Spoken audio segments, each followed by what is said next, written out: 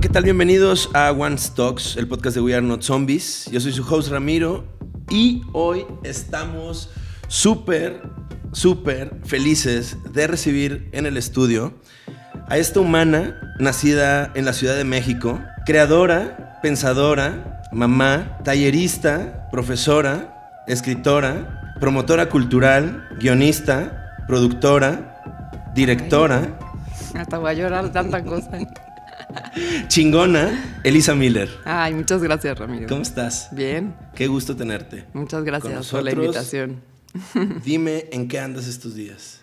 ¿En qué ando estos días? Pues andamos en, en el proceso de desarrollo y, y financiamiento de, de una película, de mi siguiente película de ficción, que es una adaptación de la gran novela de la gran Fernanda Melchor, Temporada de Huracanes.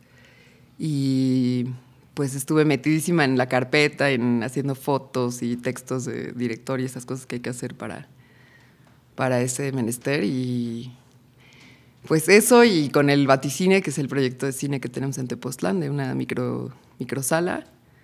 Y bueno, en la vida cotidiana arrastrada. A ver, platícame, platicamos de, de- de esta película, Temporada de Huracanes. Temporada de huracanes. ¿Cómo ha sido el proceso? Ah, ya ha estado increíble. Este, hace un par de años ya que ese libro llegó a mis manos. eh, me lo dio mi marido, me dijo, te va a encantar. Y sí, o sea, me, me lo leí en tres días fascinada, terminé de leerlo y dije, Juan Rulfo de mi generación, es mujer y se llama Fernanda Melchor y es de mi año y la, amo. Y me- como que me volví súper fan del libro, me pareció lo más conmovedor y lo mejor escrito que había leído contemporáneo, así, o sea, no, no daba crédito. Y lo comenté con un productor, amigo mío, con el que estaba hablando de qué película seguía. Y le dije, pues esta sería una gran película. Llevaba un rato tratando de escribir unos guiones y estaba todo muy cercano a, a mi vida y no tenía ganas de explorar en ese momento ese territorio que ha sido siempre donde he explorado más. Y pues eh, el productor, Chibi, eh, que es el productor de la película, eh, leyó el libro y me dijo, casualmente llegó el, el libro por otro lado a la oficina, mi socio también quiere, no sé qué. Pasó un rato, y un rato, casi un año, y recibí una llamada así de, ¿qué crees? Ya compramos los derechos y queremos que tú adaptes y dirijas la peli. Y así empezó ese viaje y estuve todo el año pasado junto con otra guionista escribiendo, que se llama Daniela Gómez, escribiendo la adaptación, que fue un proceso de- tremendo, ¿no? Me convertí en una investigadora privada del libro y este, hicimos tarjetitas y realmente lo desmenuzamos de una manera muy profunda para llegar a una versión de guion este, que ya nos gusta a todos y está lista para ser financiada y ya ganamos un premio de desarrollo en, los, en el Festival de los Cabos que, que hizo que, el, que arranque con todo, ¿no? Entonces ahí, ahí vamos con este proyecto. ¿De qué va? ¿De qué va Temporada de, de Huracanes? Ay, es fuertísima, la verdad. Este, habla de todo lo incómodo de nuestro país, me parece. Y es como un golpe así, un, deslave, ¿no? Es fuertísimo. Eh, pero básicamente se centra en el asesinato de la bruja del pueblo. Inicia con los niños que jugando en un cañaveral encuentran su cadáver. Y a partir de ahí el, el libro y la película del futuro, la película del futuro, eh, todos los personajes que están inmersos o que tienen algo que ver con el asesinato nos cuentan su versión. Entonces se va, desa- se va contando la película desde puntos de vista, bueno, el libro, desde puntos de vista variables, o sea, va cambiando de punto de vista y te va contando la misma historia. Eh, pero descubres, digo, no quiero ser spoiler, si no lo han leído, discúlpenme, soy la reina del spoiler. Eh, descubres que la bruja no es bruja, sino es un hombre. Entonces también habla como del travestismo, de la violencia de género, ya como en, al travesti, ¿no? Eh, los asesinos in- eh, se mete mucho con, con una especie de homosexualidad closetera, este, también como muy de México profundo provinciano, ¿no? Como de no aceptar tu homosexualidad y por lo tanto reprimirla con odio. Entonces, al fin de cuentas es una historia de un crimen pasional contada desde todos los actores que, que, que está muy fuerte. Pero Suena es muy fuerte, sí. Y en eso, pues te habla como de todas las instituciones que están caducas y que no funcionan. ¿no?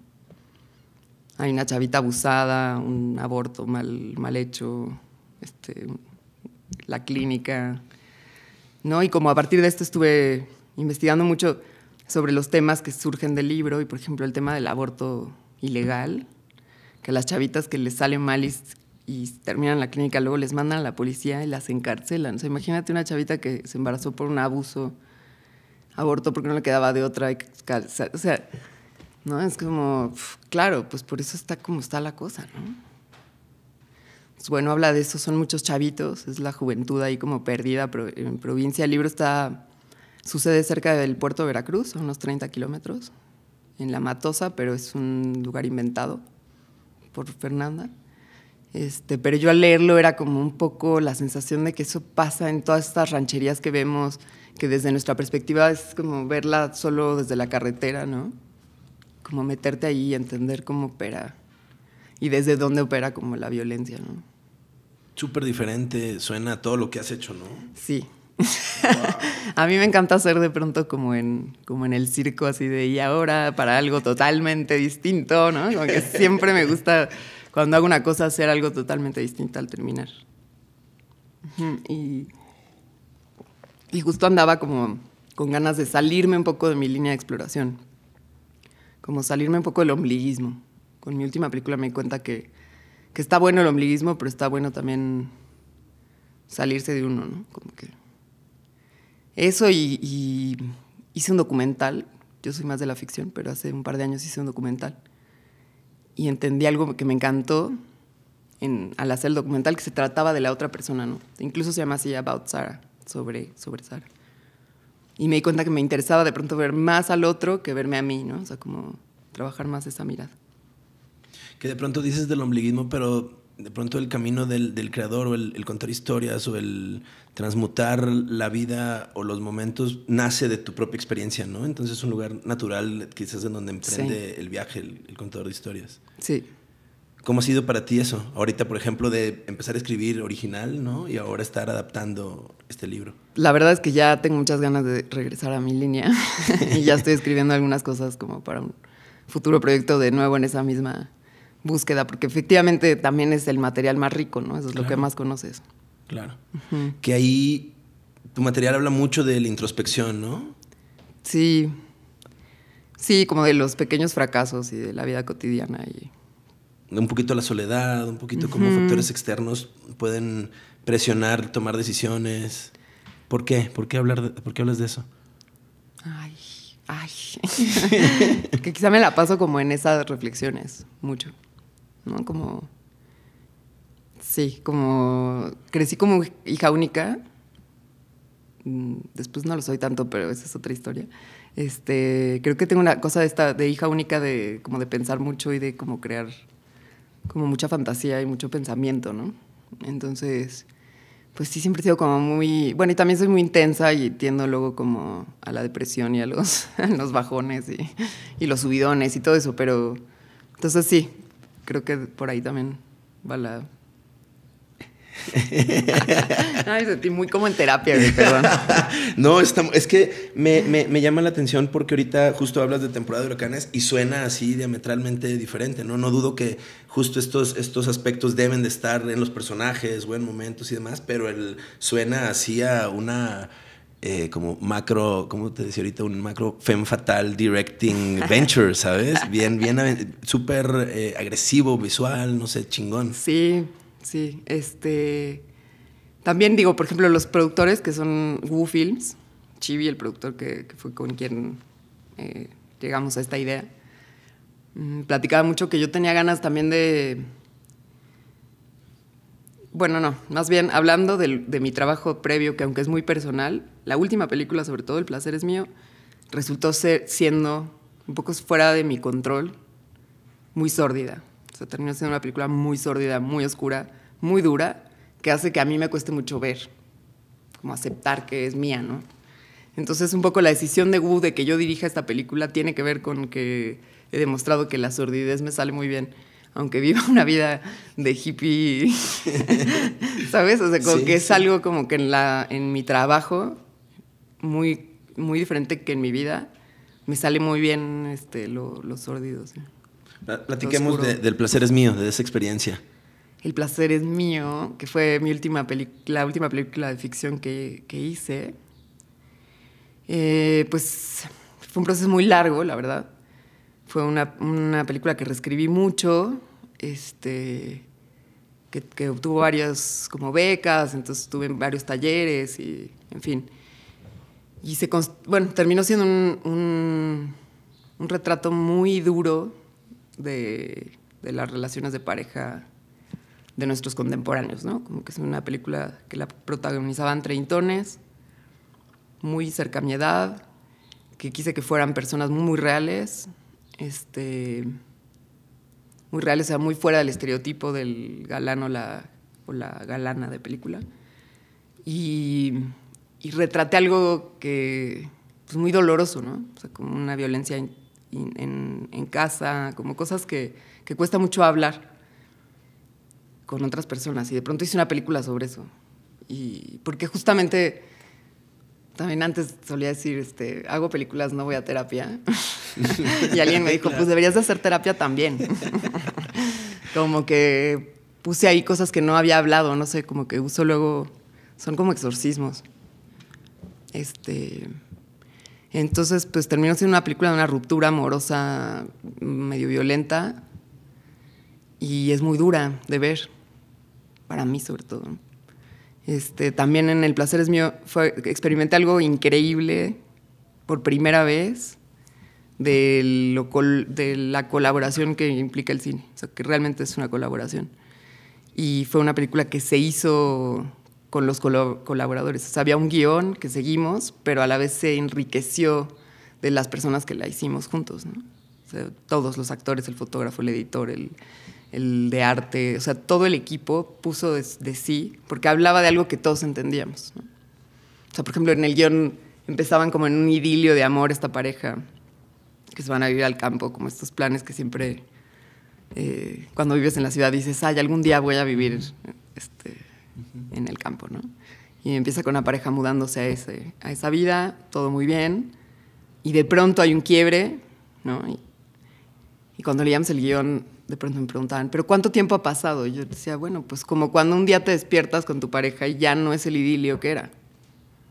Pasas en seis meses, en cuatro, en ocho, en dos años, en siete, pero pasa, ¿no? Y todos lo entendían, ¿no? Entonces, todo, eso es lo que, que todo el mundo fue aportando ¿no? Por ejemplo, entonces la de maquillaje decía, ah, huevo, y que ella se deje de depilar y que las uñas las traiga mal pintadas y, ¿sabes? Como este descuido, o sea, como llevar ese sentimiento a todos los departamentos y todo el mundo puso mucho de su parte porque todos entendíamos. Y hablaba de algo también que creo que todos entendíamos y nos duele, que es lo que pasaba viendo la película, como mujer te reconocías en, en Rita, en la protagonista, pero desde un lugar como doloroso, como si vieras algo que no quieres ver de ti, ¿no? Y como que vives con ella algo que has vivido, porque tú dejas correr, no sé cómo. En fin, esa película la dejamos en un tono tan, tan, tan realista y nunca se sale de ahí, o sea, nunca llega este, los zombies a matarlo, sino que se queda en ese tono que hace que sientas que tú la puedes estar viviendo. Entonces, es por eso como, ah, como dolorosilla, quedó dolorosa.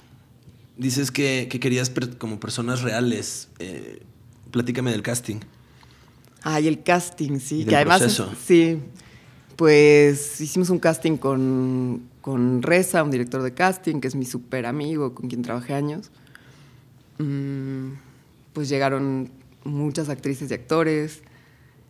Me pasó que con las actrices me gustaban muchas de ellas y los actores nadie, güey, como que no, nadie era realmente el personaje. También es cierto que el guion, escrito por, por dos mujeres, por mí y Gabriela Vidal, eh, como que le carecía de alma el personaje masculino, ¿no? Como que era un hombre genérico.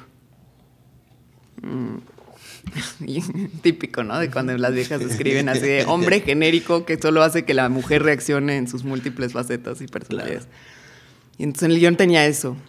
Entonces también me, faltaba, me, me, costaba encontrar dentro de los actores un actor que, que, que, le metiera carnita a ese personaje, ¿no? Algo así. y entonces por, por otros lados, por amigos, me dijeron, ah, pues háblale a mi amigo. No, así recuerdo tal cual, frase de Artemio, un amigo mío que me dijo, ¿por qué no le llamas a mi amigo Fausto Alzati? Porque te hace falta un hombre, así como un hombre de verdad, güey, que vaya un tipo a tu casting como Fausto Alzati. y pues ahí fue, él nunca había hecho una película, fue todo escéptico, este, pero resultó que conocíamos mil personas en común, nos cagamos de la risa, hizo un super casting y y luego cuando decidí a la protagonista, que, que es Flor Eduarda Gurrola, increíble, que ella fue la segunda en llegar al casting y yo lo sabía que era ella, sí tenía palpitaciones, decía, es ella, es ella. Me decía, cálmate, tienes que ver a los demás. Y yo, es que es ella, güey, ya lo sé. Cuando que decidimos por la protagonista, llamé a los finalistas, actores y a Fausto. Mm, y pues el callback con Flor Eduarda, ellos dos explotaron, así tenían una química increíble. Y a ella el hecho de trabajar con un actor de formación la bajaba de tono, sea, era menos actriz, actriz, y a él lo ponía como, ay, como una superactriz, lo subía. entonces, sí, y entonces hicieron como un tono que me gustó y, y así fue esa pareja. Flor Eduarda Urrola, que es lo máximo, y Fausto Alzati, que también resultó pues un histrión natural, ¿no? O sea, digo, él venía en, este, en su mundo del spoken word, pues es toda una celebridad. Tenía todas unas tablas este, histriónicas que, que yo le vi y pues generamos una relación de confianza y, hicimos talleres y cosas y hicimos la película. La, ¿cómo, cómo, fuiste trabajando tu método de aproximarte a la historia teniendo a una actriz de un lado y a un actor del otro? fue súper interesante, la verdad. Este, porque eran mundos muy distintos, ¿no? Por un lado, Flor Eduarda, que tiene todos los años del mundo de set. O sea, ella estaba en Carrusel de Niños, ¿te acuerdas? Wow, no, claro que me acuerdo. ¿Quién era? La, gordita que lloraba. Ay, claro, sí es cierto. What? Entonces, este, Flor Eduarda con esos años de set y esa, esa formación y y Fausto que en su vida se había parado en un set, ¿no? Sí era como hablar con dos. Sí, por los Pero a la vez era como estar los tres echados en la cama del set, este, platicando y, compartiendo como de lo que queríamos hablar, como que se volvió una cosa muy sincera. Y por eso te digo de la colaboración, porque Fausto llegó y le sumó tanto al personaje, lo quitó el hombre genérico y lo volvió un personaje complejísimo. Y, se, se metieron los dos mucho no en el guion, pero como a la hora de filmar, de pronto, este, como que el personaje reclamaba su escena solo, ¿no? O sea, si, él no tenía, pon tú, voy a hacer un ejemplo burdo, pero, ay, sí, a ella ya la filmaste chaqueteándose y a mí no, ¿no? Yo también quiero mi escena masturbándome, yo sé, ok, qué raro. Bueno, vamos a hacerla, ¿no? Como que yo de pronto decía, pues esto lo está pidiendo el personaje, venga, vamos a hacerlo.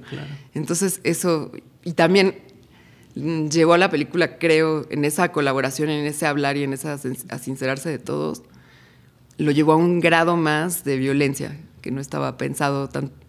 O sea, el guion no era tan violento como terminó siendo la película. Mezcal, ven a nosotros.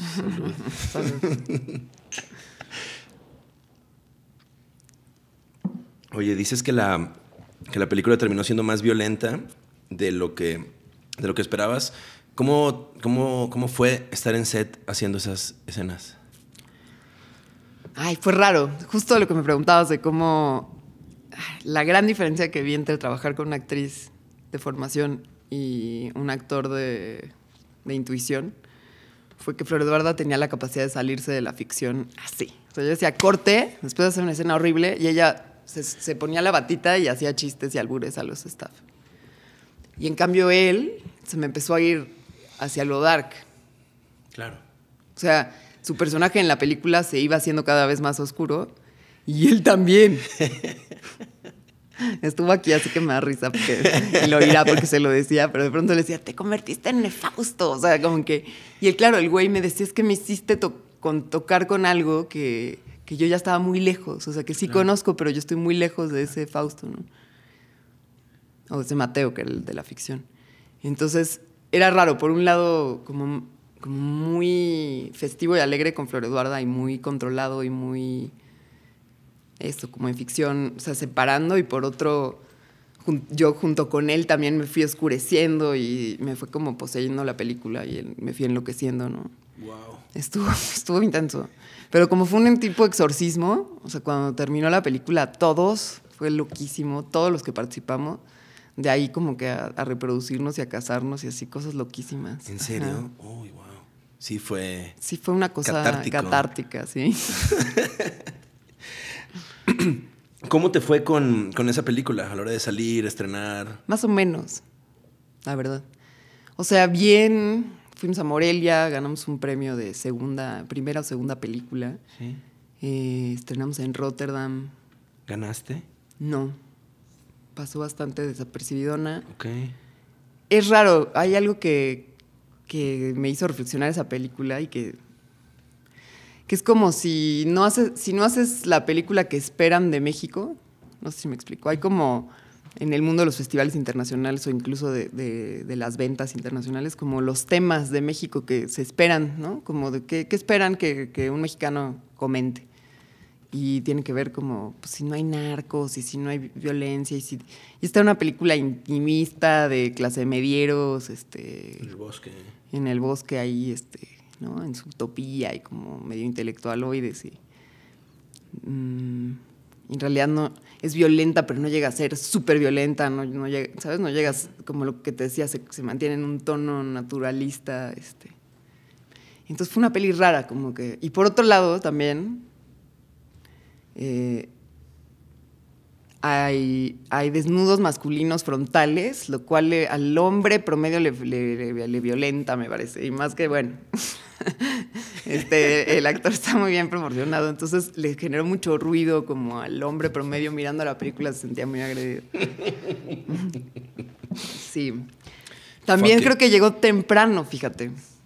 O sea, eso me lo han dicho ahorita programadores y así, como que llegó pronto, porque ahorita con el boom del Me Too, del todo este pedo, quizá hubiera tenido otra recepción, como otra lectura. Siento que llegó pronto y, fue como, ay, qué raro, y te digo que es difícil de ver, entonces, este, como que luego salimos en cine, tuvimos una mini una distribución pequeña. Em, también coincide con que yo cuando estrenamos en Rotterdam descubrí que estaba embarazada. Y pues decidí que mi energía iba para eso y que me valían los festivales y la promoción de la película y no le di esa continuidad que a veces estas películas como más indie necesitan un acompañamiento y no, yo no se lo di. Se quedó en manos de los productores y los distribuidores y pues, es una peli chiquita y rara y este, dura, entonces también... Eh, y tienes mucho sexo, pero también es como violenta. Entonces, eh, como que no encajó. O sea, por ejemplo, Netflix le pareció como, ay no, muchas gracias. Está muy, está, y su excusa fue como, es muy pequeña. Y yo, mm, ok o muy independiente, o, sea, no sé. Wow. Este, tiene eso. Y te digo, quizá si hubiera caído más tarde con todo este, a lo mejor hubiera, se hubiera como leído de manera distinta, ¿no? ¿Cómo me dijiste ahorita que se le llegó a llamar? Ah, cuando, es muy raro, cuando terminas una película y no tienes, o sea, tú entregas, ¿no? Y luego escriben sobre la película y, dices, órale, eso lo vieron. Y se habló como de que era posfeminista. Y en su momento no entendí nada y luego eh, estuve leyendo ahí la teoría de King Kong de, de la Despentes, de Virginie Despentes. Dije, ah, ok, ya entiendo más. O sea, tiene esta cosa como de no victimizar a la mujer, o sea, como que aunque viva un abuso, o sea, como no, no sé. Este, y te digo, como que la película no, no, no es una heroína la chica. O sea, es una, una chica que cuando te reconoces en ella no te gusta. Porque, sí, como que pues habla de un abuso y un abuso en la casa, un abuso sexual. Y de alguna manera no es que, culpe a la chica, pero, pero también vemos como su lado, como de, puta, tú te pusiste ahí, güey, ¿no? No sé, por eso te digo que tiene como, pero creo que sería interesante ver que cómo se lee ahora, está un poco enlatada, es una película de culto, casi casi. Uh, perfecto, lo que nos gusta. este, pero la verdad es que aunque es muy dura y te digo que para mí es durísima ver, durísimo verla, eh, sí me gusta, me gusta mucho lo que sucedió con los actores, este, la fotografía es hermosísima, ¿no? O sea, hay como unas cosas de esa película muy, muy bellas y una experimentación de lenguaje y de, uso de tiempos y así que también creo que, está padre. Pero pues eso, así son las películas, ¿no? Como que nunca sabía. ¿Por qué, mm, ¿Por qué querías hablar de eso? Es lo que también me pregunté cuando la, la entregué, digamos, cuando la acabé. No sé, la verdad. A escribir sin saber qué estabas escribiendo. Mm, la empecé a escribir, yo creo que en un momento de mucho desamor, porque hay como una teoría muy triste. O sea, cuando como que sí, retrata, también habla como de esta cosa de nuestra generación de lo desechable, ¿no? Como de, ah, ya, qué huevo este güey, el que sigue, ¿no? Como esa cosa. Y es feo, es lo que te digo que es fuerte reconocerse.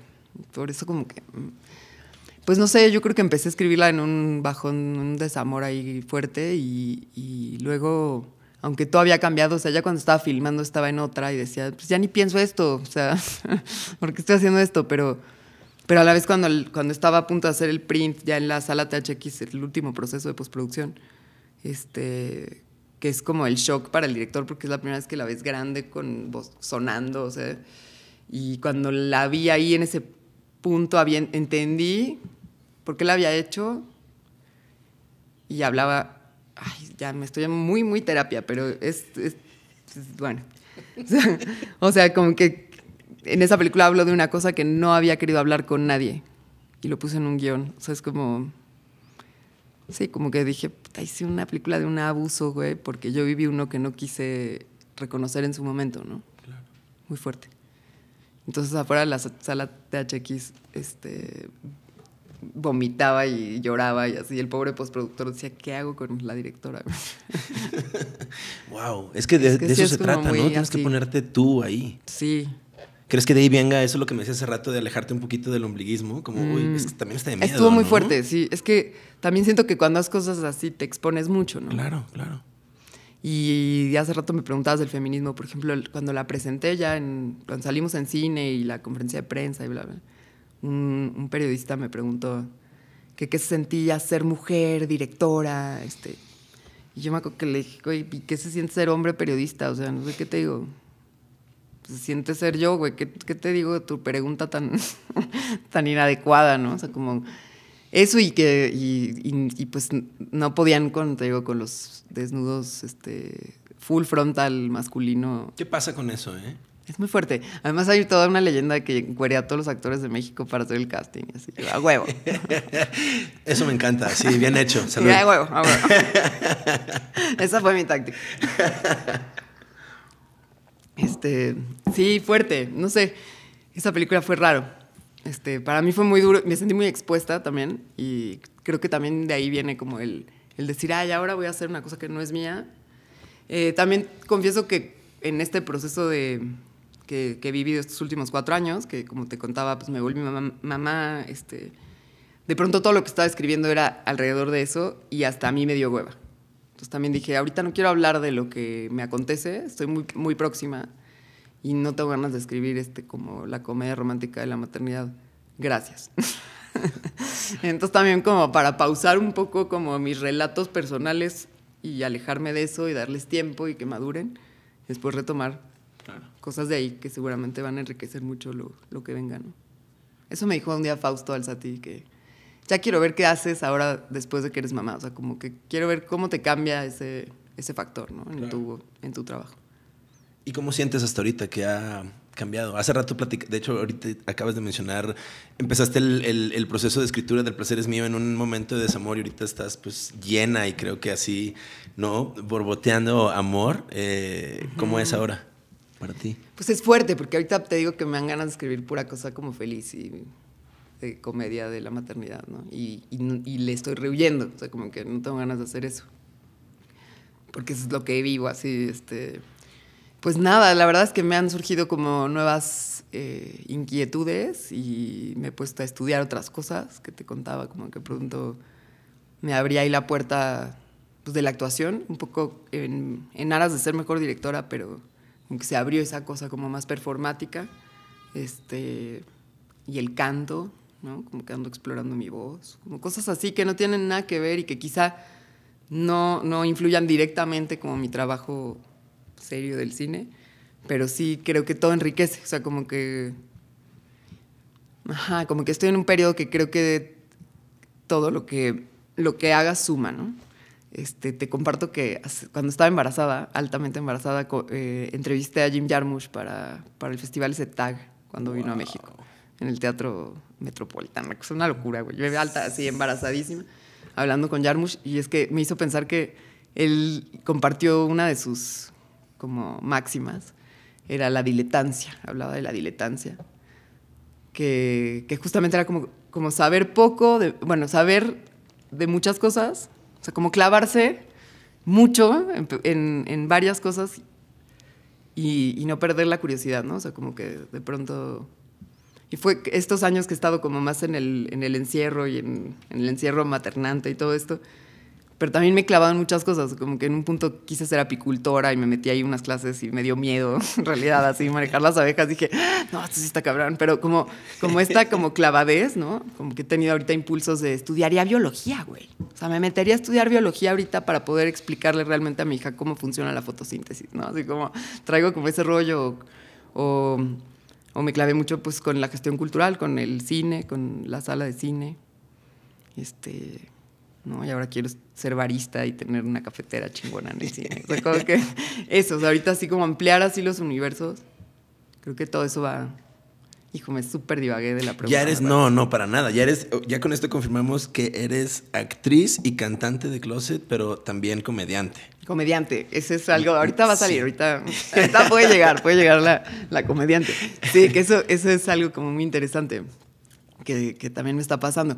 Que me pasó también al terminar El placer es mío, que me quedó tan pinche sórdida, con Flor Eduarda Gurrola, que es de las personas más graciosas que puedes toparte en la vida, y que ella y yo en una conversión normal nos reímos este, el 80% del tiempo, ¿no? Y decía, la desaproveché, güey, debería haber hecho una comedia, ¿no? Como, como que sí, este, hacer el placer es mío me dio como la pauta de que la sordidez sí me gusta, y bueno, voy a hacer temporada de huracanes, que va a ser súper sórdida, la verdad pero tiene sus, sus destellos de humor, que eso está chido. Este, pero entonces empecé a explorar algo que ya ahí latía, que es como, como hacer reír, o sea, como que es algo que, que me gusta mucho. Oye, que bueno, al final creo que es súper interesante, y ahorita tomando un ejemplo muy, muy comercial, tomar a un actor, eh, actriz, actor que ha estado en un género y llevarlo a un lugar como muy diferente, ¿no? Digo, el caso ahorita Adam Sandler que hace Punch Drunk Love con PTA y hace Uncut Gems ahorita y están en rangos súper diferentes. Creo que también ahí hay algo muy hermoso, muy puro a la hora de crear, ¿no crees? Sí, sí el salir de lo común, el agarrar a alguien por lo que te muestra, por lo que tú ves como contadora de historias, como realizadora y decir, ok, vamos a llevarte a este mundo súper sórdido y dejarte llevar, porque creo que en ningún momento te detuviste, ¿no? O sea, nunca te dio miedo decir, oye, esto se está poniendo dark, vámonos dark, o sí. Más o menos, no, pero sí lo dejé, que, o sea, como que, que fluyera. Que fluyera, lo dejé, ¿Por qué más o menos? sí, sí, le saqué luego como a donde se estaba yendo. Ok. Este, pero igual llegó a un lugar de, o sea, spoiler alert. Eh, tercero, tercero. este, la película termina con una violación y, fue una toma única que no me atreví a repetir. Un plano secuencia que, que sabía que podía entrecortar porque no era mi intención que fuera un plano secuencia, pero como quería que la escena sucediera, ¿no? Que, y cuando terminó había sido tan fuerte que no quise volverlo a hacer. O sea, fue como, no, ya está, la tenemos consulté con mi, con mi script, este, la consigliere Marie, y me dijo, la tienes, puedes doblar ciertas cosas, puedes quitar ciertos diálogos, porque tienes... Si no la quieres volver a hacer, estás, porque fue muy fuerte. Y se fue de control en el sentido que de pronto la actriz se sentó y no estaba la silla y se cayó al piso y se habían roto vidrios antes de que se cayera al piso. O sea, como que se llevó a un lugar que no estaba planeado pero que funciona, porque de eso va la peli. Eso, también eso, entender que, de, que eso quería finalmente decir. Que también uno se tiene que mantener abierto a que la magia ocurra, ¿no? A que pasen cosas y estar ahí para decir eso, eso es. Aunque no esté escrito, ¿no? En la página o lo que sea. O no lo hayas visto, no lo hayas puesto en el storyboard o lo que sea. Ese es todo el chiste eso es lo que hace más divertido un rodaje, siento. Que de pronto te, ahorita que, que, que mencionabas la parte de, del proceso y del tono naturalista, Em, me queda claro tanto por tu trabajo como por lo que, lo que he leído, que ya incluso has hablado como de esto del art therapy, ¿no? Como de esta terapia, este método de terapia que de pronto está dentro de las películas por cómo va ese proceso de, de exploración y ese tono naturalista que raya entre docu, documental y ficción, ¿no? Que buscas eh, llevar a la hora de hacer una película. Me refiero también a que de pronto corrígeme si no, pero te llegas al set y te mantienes abierta que si el viento, si la luz o si tal ah, cosa totalmente. afecta algo, te vas hacia ello, ¿no? Totalmente. Y luego este, tengo muchas broncas con los asistentes de dirección. ya estando ahí cambio el plan. Pero sí, creo mucho en eso, como que vas por una cosa, o sea, luego cuando doy clase les hablo así de, haces un shooting list como una lista del súper, güey. Nunca sacas la lista del súper en el súper. O sea, no eres así de ñoño. ¿No? No vas ahí como, ah, la mantequilla, ¿no? No. vas al súper, compras y a veces checas, y a veces checas si no te faltó nada, ¿no? Pero como que vas abierto a ver qué hay en el mercado, ¿no? no yo nunca hago lista para ir al mercado. O sea, de hecho, llegas al mercado viéndote lo más experto posible en el supermercado. Ah, y abierto, ¿no? ¿Qué hay hoy? Sí, Entonces siento que, que la llegada así al set, aunque sepas muy bien qué quieres, tiene que ser como muy abierto a ver qué hay hoy. Y en eso, en el, en el, placer nos pasó eso. Claro, también me puse muy loca en un momento dado, este, me metí a ya vivir al set. ¿Cómo? Como que ya, dije, yo ya voy a dormir aquí porque estoy muy nerviosa y no quiero irme, ¿no? Entonces me quedé a vivir en el set y descubrí que a la, así de 7 a 8 y media había una luz espectacular en el cuarto. Y entonces me puse muy loca con el crew y les dije, les pido que el llamado a las 7, pero no a comer chilaquiles, a filmar. de 7 a 8 y media y luego se van y se comen sus chilaquiles. O como que exigí de pronto todos los amaneceres, como que... O sea, como que esa locurilla de, de encontrarle también al lugar su, su, chiste. Pero pues es que esa luz, ¿de dónde más la sacas? Era como, güey, es que la tienen que ver. Lo bueno es que estaba mi, mi, equipo, como que, sobre todo el fotógrafo, Matías Penachino, que me decía, no esperaba menos de voz colorada, porque es un argentino. No esperaba menos que te volvieras loca. O sea, como que sí, sí fui poseída. Bueno, me pasa eso, que, que de pronto como, que es lo más padre, ¿no? Ya en, en el set que ya te dejas ir. ¿Extrañas el set? Sí. ¿Hace cuánto no...? Bueno, eh, bueno, fui, sí. Ah, qué bueno que lo pones. El año pasado este, dirigí dos capítulos para una serie de Netflix que se llama Desenfrenadas. Chingón.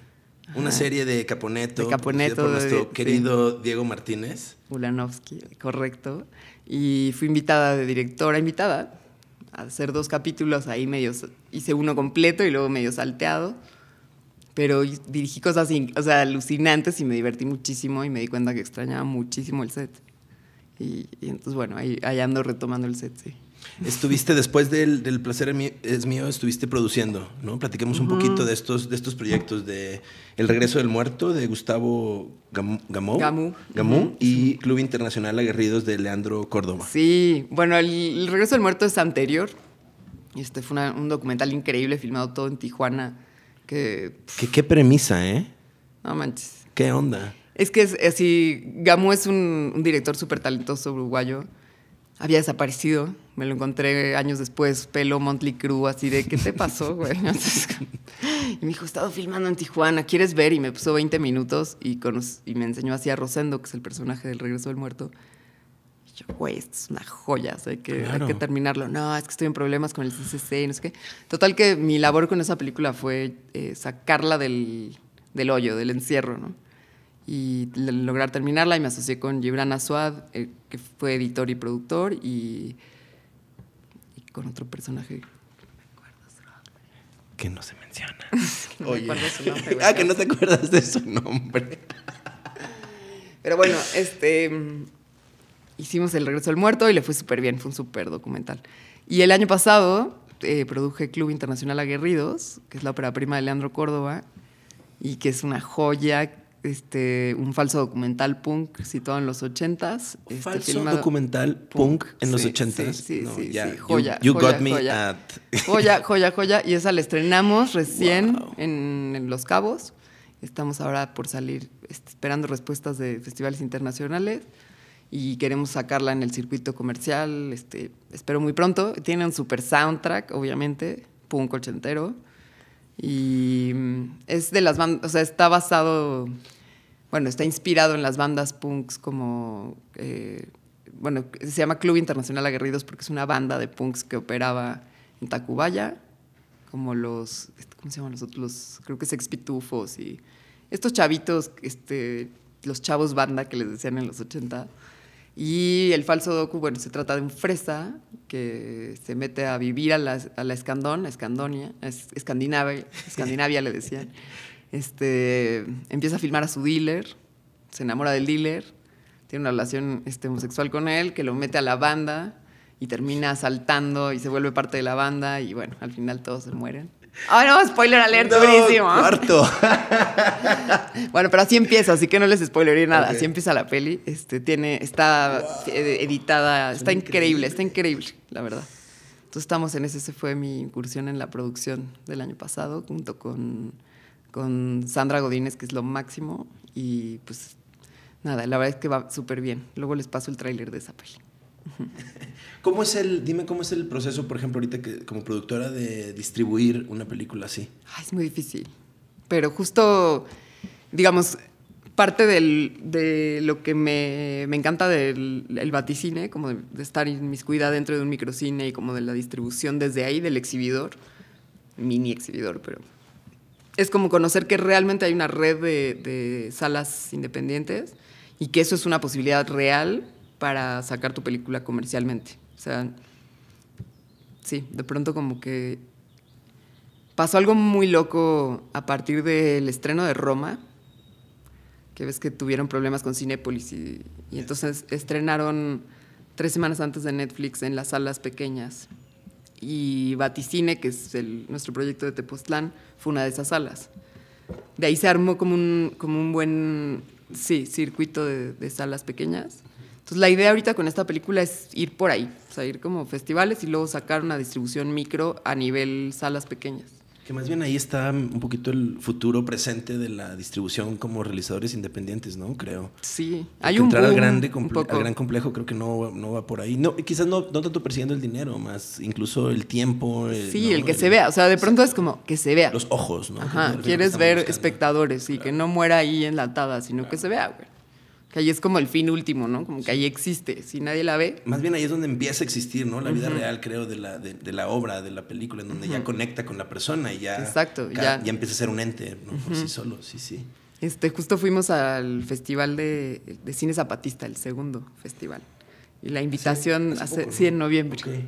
Y el- la invitación del sub decía, es que no se me olvida, así que este festival surge, o sea, el Festival Zapatista, a partir de una pregunta de una niña que, le, que preguntó si una película que no se ve llora. Si no es vista, si esa película llora. Quiero llorar.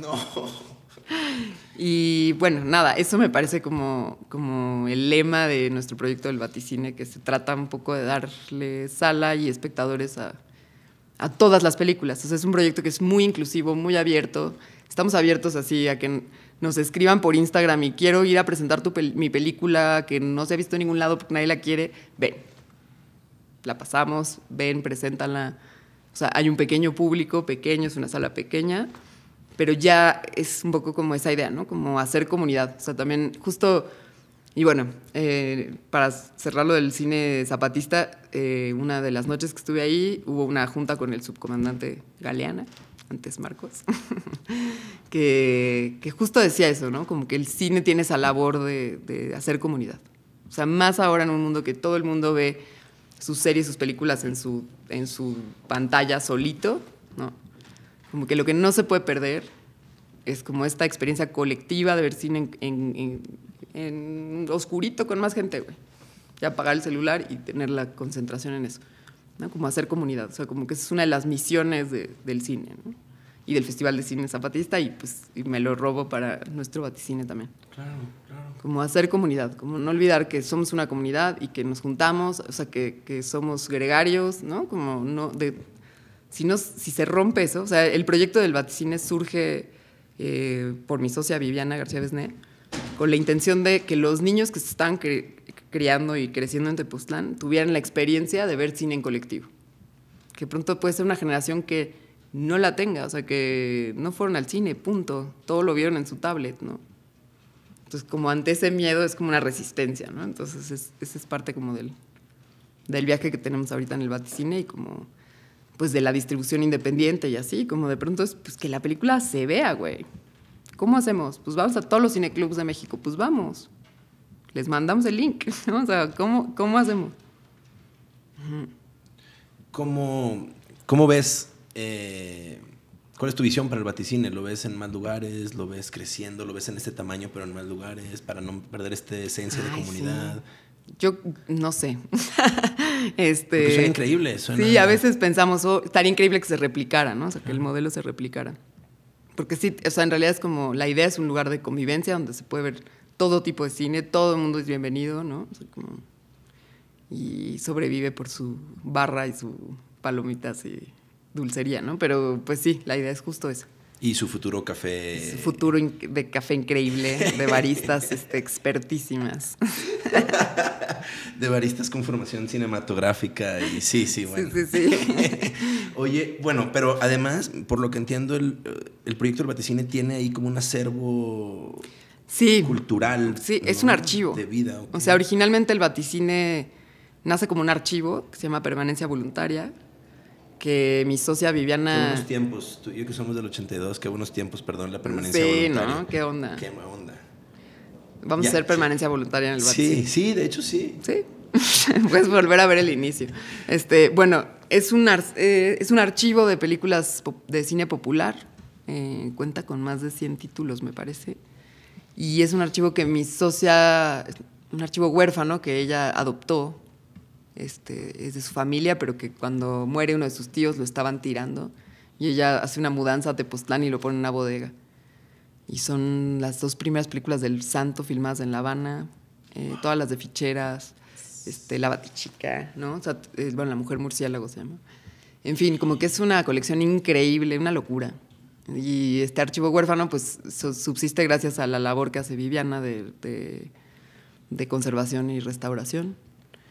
Este, que es uno otro de los temas que ahora también como que me, me, me atañen o me, me, me entusiasman, ¿no? O sea, pensar, por ejemplo, la conservación de las películas de mi generación en el futuro, ¿no? ¿En qué formato van a estar, güey? No pueden ser solo digitales, no podemos confiar en un disco duro, No, para nada. ¿no? O sea, si no se van a perder. Entonces es como este tema del- de la conservación, de estas películas de los 50 que te parecen lejísimas, que nadie quiere ver, pues sí nos atañe, ¿no? Porque cómo vamos a conservar las películas de ahora en esta era digital, ¿no? Entonces, son todos estos temas. Ah, ¿Ya exhibiste todas las películas? No todas, pero sí hemos hecho, porque están algunas en estado medio catastrófico, pero todas las que van, que, que Viviana va restaurando, que el, que el archivo va restaurando, se van, las vamos exhibiendo. Es difícil conservarlas, ¿no? Son Sí. latas de 35. Son latas de 35. sí, Nitrato tienen que. wow. Creo que los nitratos ya se los llevaron porque eso sí es explosivo, pero. pero sí, este, ¿cómo se llama? Es plata, ¿no? O sea, es como. Y mm, platícame de la, todo esto de la conservación, que creo que ya es un arte ahí en sí mismo que muy poco incluso hablado y, y documentado, explorado en México. Pues sí, digo, está la Filmoteca y la Cineteca que conservan la mayoría de las películas y pues sí es una labor titánica, ¿no? O sea, como cada año restauramos, bueno, restauramos, restaura Vi- Viviana una película y consigue apoyo de la Academia de Estados Unidos y así. O sea, sí hay como todo un mundo de clavadez en torno a la conservación, pero sí es difícil y caro. Todo este, todo este camino que ahorita estamos hablando de la conservación, estudiaste filosofía, empezaste estudiando filosofía en Francia, terminaste, te regresaste a México, hiciste letras inglesas en la UNAM, después te terminaste... ratito, sí. Un ratito, un ratito, lo suficiente. Lo suficiente, Lo para que cuente. sí, ¿no? para, la, para la diletancia, para la diletancia, Sí, sí, sí. Y después en el CCC graduaste de realización, ¿no? Dirección y, y guion. Sí. Durante ese tiempo, que creo que es de ahí de donde, de donde todos ubicamos tu, tu nombre y tu obra, hiciste Ver Llover. Platiquemos de, de Ver Llover, que me parece, yo tuve la fortuna de verla, ver el estreno en el Festival de Morelia, una cosa hermosa, un poema totalmente. Mm. Platícame cómo, cómo, obviamente eso cambió, catapultó y fue ahí como literal todo un, todo un terremoto, tanto bien, mal. Entremos Sí, en, todo, ese, en ese tema. Fuerte. Este, fuerte. pues sí, Ver Llover era mi corto de tercer año de la escuela, que le llaman la ficción 2. Y Pues no sé, nunca más filmé así. O sea, era un corto súper guionizado, hice como 11 tratamientos. Este, pero partió de un taller que tomé con María Novaro, que era nuestra asesora todo ese año de, de ficción de realización. Y eh, ella empezaba su taller pidiendo una lista de imágenes que tuvieras enclavadas en tu cerebro. O sea, como imágenes, güey. No eran secuencias, no eran imágenes. Y entonces en esa lista, después la encontré, años después ya con el corto terminado, y hay muchas cosas que salen de esa lista. Este, ¿Qué hay en esa lista? así como una manita y sus rayitas, pero luego con una herida, hay ajá, como alberca desbordada con lluvia, ¿no? Como tarde de lluvia. O un poco como que estaba lleno de. Pues como de re- recuerdos ahí, como cosas, no sé, como. ahondaba en mi inconsciente, ¿no? Como muchas, este. Sí, como. Y tenía un, un estado de ánimo muy claro que era. O sea, yo cuando. Yo crecí en Cuernavaca. y tenía siempre la sensación de que todo sucedía en otro lado menos ahí y que ya me quería ir y me o sea, como que tenía siempre mucha prisa y entonces sentía que vivía en una isla encerrada y que todo pasaba fuera de ahí. Y entonces ese era el sentimiento que le quise poner a la película. Hice una película con todos mis amigos, era el equipo y unos actores divinos, adolescentes. Entonces también el solo filmarlos a ellos, su, su, su realidad, ¿no? su verdad era hermosa y no sé, estaba lleno de eso. Y, y pues fue muy bonito de filmar, me la pasé increíble. Luego fue muy criticado en la escuela, nos dijeron que, que te la pasaras bien filmando, era pésimo y que así como, es como, "Ah". este, ¿Qué te dijeron de la película como tal en la escuela? ah, que era muy, que no contaba nada, que no, no había ninguna historia. Whatever that means. Sí, pero pues yo lo que quería era como un sentimiento prolongado, ¿no? Y como insistir en ese sentimiento de, de- de- de encierro y de... Tenía como muy cercana a la adolescencia en ese momento. Tenía 22 años cuando lo filmé. Y pues no sé, no sé qué es lo que, cuál fue su magia, güey, pero le fue, sí le fue misteriosamente. ¿no? Creo. Creo que la honestidad, estaba muy cabrón, sí, como que había una cosa así de, y no quería contar más de lo que, o sea, nada más, güey, o sea, como de tu primer, eh, como desencuentro amoroso ahí. No, ahora también tengo como muy claro, bueno, no, no tengo muy claro nada, pero como que veo con más claridad cómo te vas formando, como si fuera una cartografía emocional de tu, no sé, cómo tu presente ahora está formado de todos esos cachitos, ¿no? Como un collage, ¿no? Como un collage. Entonces ver llover era como una primera pieza de un primer eh, como enamoramiento fallido y como de un no sé, era eso, como una de adolescentes que se querían ir de donde vivían, como que algo muy básico de alguna forma, pero honesto y que conocía perfecto y los chavitos pues los conocía perfecto y este, vivían en un hotel, mi papá creció en un hotel, había como unas cosas como muy personales, reales en juego y una intuición cabrona, o sea, como que ahí sí filmé así, sin ningún prejuicio de nada, sin esperar nada. Nadie esperaba nada de, nada de mí ni de mi corto, ¿no? Era como un ejercicio de la escuela ya. Y así lo hice. Oye, con Ver Llover ganaste Morelia, mejor corto, y de ahí te fuiste a pinche ganar Cannes, primera mujer en la puta historia que gana Palma de? Oro. Qué locura. onda? Sí, Qué loco, que ¿no? Fue una locura. Yo en esa época me acuerdo que la imagen que tenía para lo que me había pasado es como que, que eres niño y estás apuntando con una resortera a la ventana más alta que obvio no le vas a atinar y pum, le atinas y la rompes, ¿sabes? Como, chale, güey. La rompes y se cae y pasa cae así y que pasa de dices, todo. ¿qué? y- ajá, o sea, como que sí estuvo cabrón. No, nunca fue la intención, digamos, cuando filmaba, jamás pensé en eso. Incluso cuando, me acuerdo cuando regresaba del Festival de Morelia, que, que había sido una sorpresa ir y encima ganar y tal, y regresaba en la camioneta del festival llorando, ¿no? Porque yo decía, no, nunca había ganado ni una rifa. O sea, yo iba así de, devastada, como una cosa. Y entonces un tipo en la camioneta, un español, me dijo que por qué no lo había metido a Cannes. Que si ya lo había inscrito al Festival de Cannes. Y dije, no, pues es un pinche corto de la escuela, güey. O sea, qué oso. Y me dijo, deberías. O sea, no sé quién es ese señor, un señor español que me dijo, deberías, estás a tiempo, mételo al festival. Y yo como te manejo los subidones y los bajones en el subidón de Gané Morelia, Pum. regresé y inscripción al Festival de Cannes y lo mandé. ¿No? Entonces, también ahí me acuerdo que pensaba mucho, güey, el no ya lo tienes, hay que mandarlo, o sea, hay que, ¿no? O sea, el no ya está asegurado, pero si, si atentas con el no original, si dices, pues lo meto, voy a ver qué pasa. Ahí pasó también que en el jurado de Morelia había una persona del que programaba en Cannes que se había enamorado del corto. O sea, ese corto tenía eso, como que había gente que como que se enamoraba, ¿no? Y creo que tenía que ver con esa frescura y esa cosa. Ay, te quería contar de la colaboración. Cuando estábamos filmando el final, me dice Diego Cataño, el actor, que entonces tenía 15 años. Y me decía, ay, tú eres una amarga, güey, el amor, no sé qué. A mí, si, si, mi morra se fuera en ese camión, yo correría detrás del camión hasta que se pare y me suba, ¿no?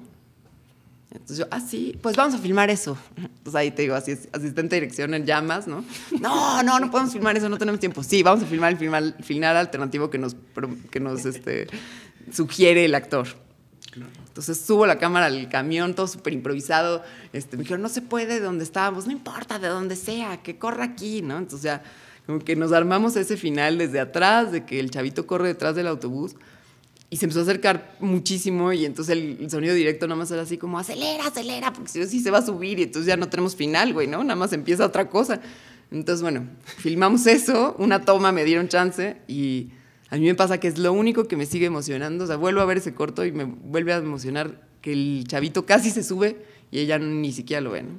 Que será como la sensación del primer amor, ¿no? Como que igual, como lo cortaste, el güey ya luego ya no te habló, pero sí te habló, pero no te diste cuenta. En fin, como esta cosa como el chavito corriendo ahí detrás y fue como la primera lección de eso, de la colaboración, de que tienes que escuchar a tus actores y tus personajes y y pues eso, eso fue ver llover. Y según yo, ese momento que es tan mágico, que viene de ahí, eso es lo que, genera esos como enamoramientos.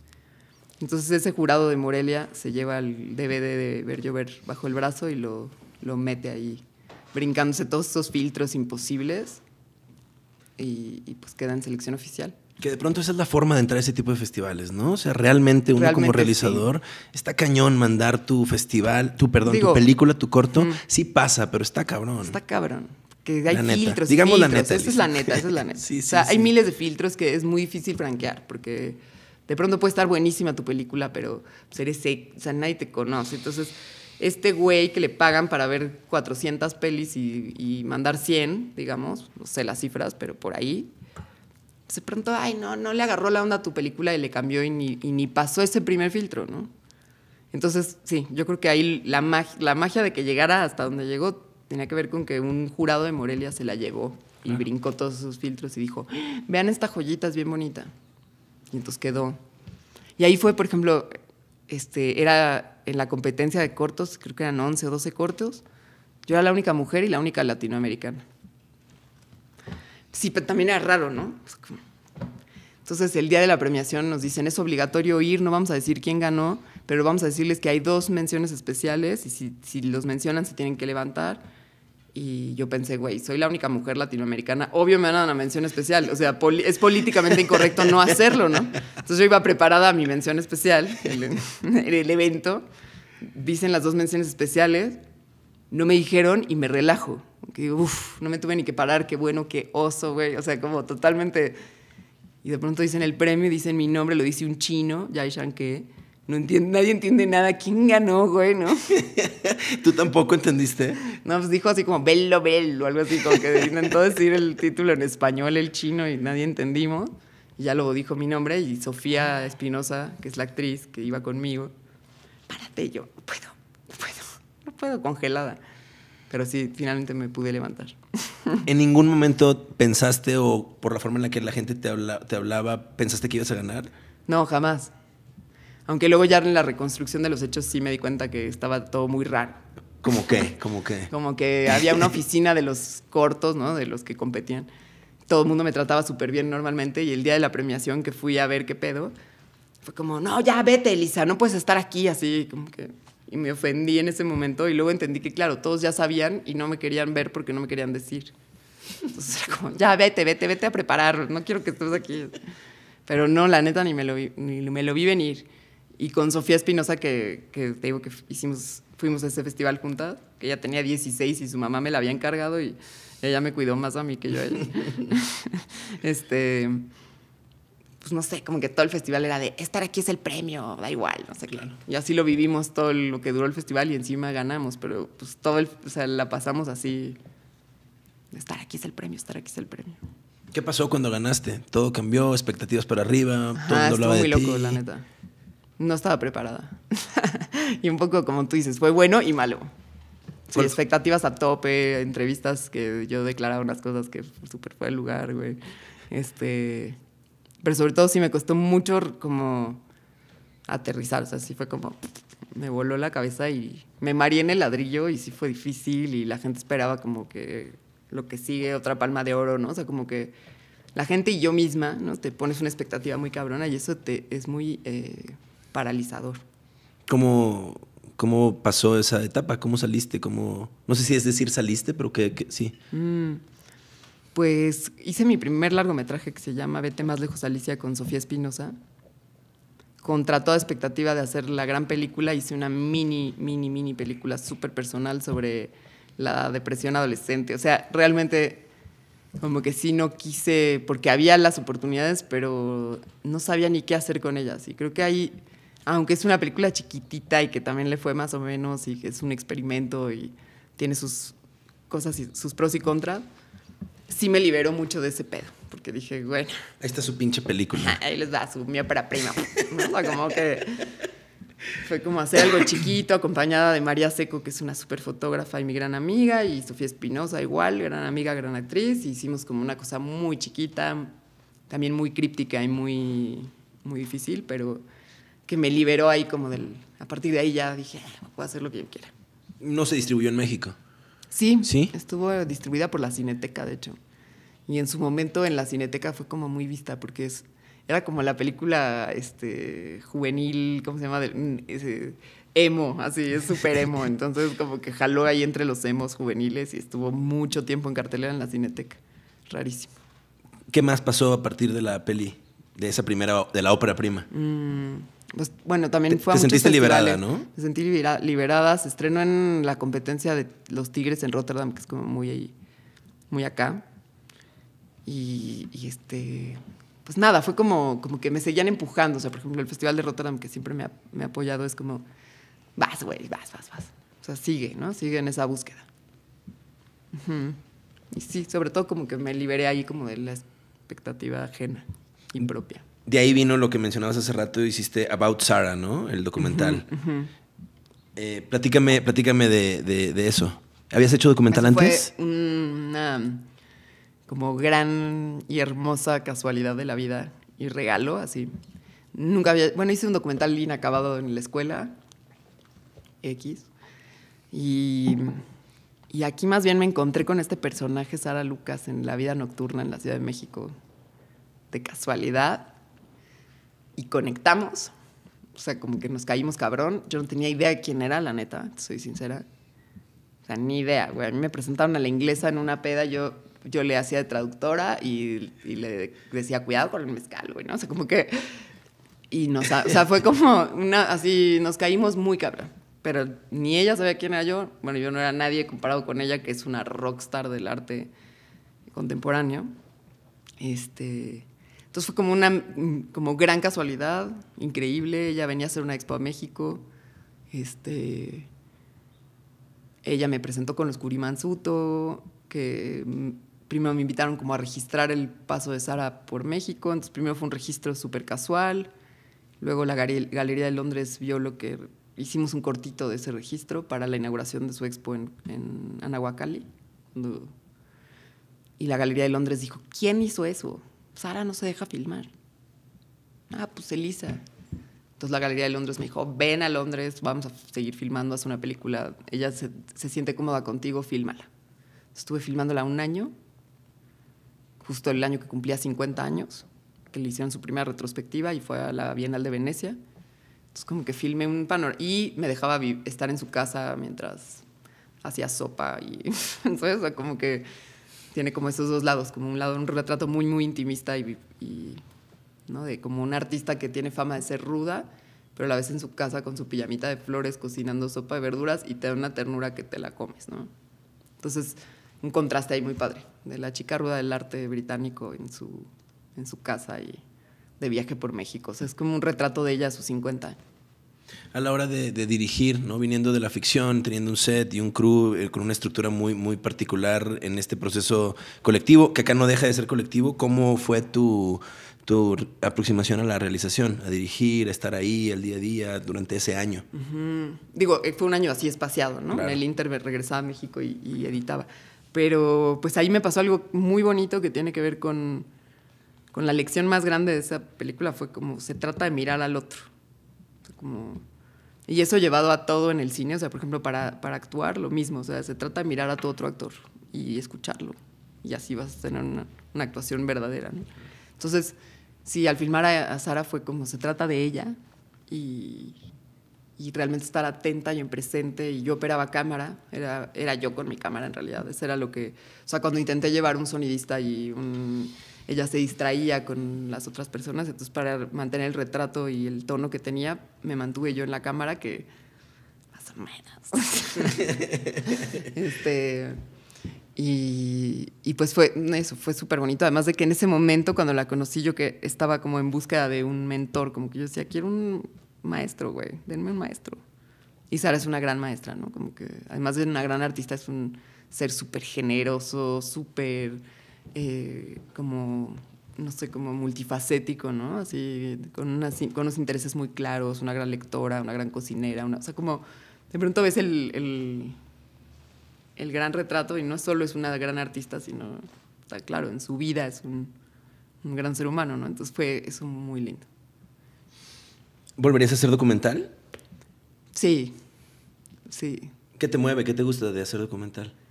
Pues esto, justamente que es donde más e-, ejercitas el ver al otro y borrarte.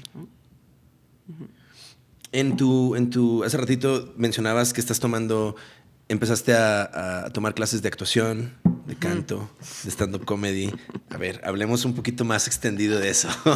ya es momento. La vida closetera de Sí, sí, hablemos de la vida closetera. Pues sí, este, el año pasado tomé un curso de, de un taller de dirección y actuación para actores y directores. Y la primera línea era, o sea, como la primera frase en el pizarrón era, para ser mejor director tienes que contactar con el actor que llevas dentro, ¿no? Entonces, a partir de, ese momento inicial del taller, yo me dejé ir y me abrí así a ser actriz. Y entonces había tareas para los actores y para los directores y yo hacía las dos, ¿no? Así súper ñoña. De los actores tienen que preparar un monólogo. Pues yo también, ¿no? O sea, como que me lancé a todo eso y se me abrió así como una puerta como donde siempre había pensado que no, que era pésima actriz y que eso yo no, que yo sé dirigir, pero atrás de cámaras, que... Y de pronto fue como, güey, ¿por, qué te niegas a esa parte, no?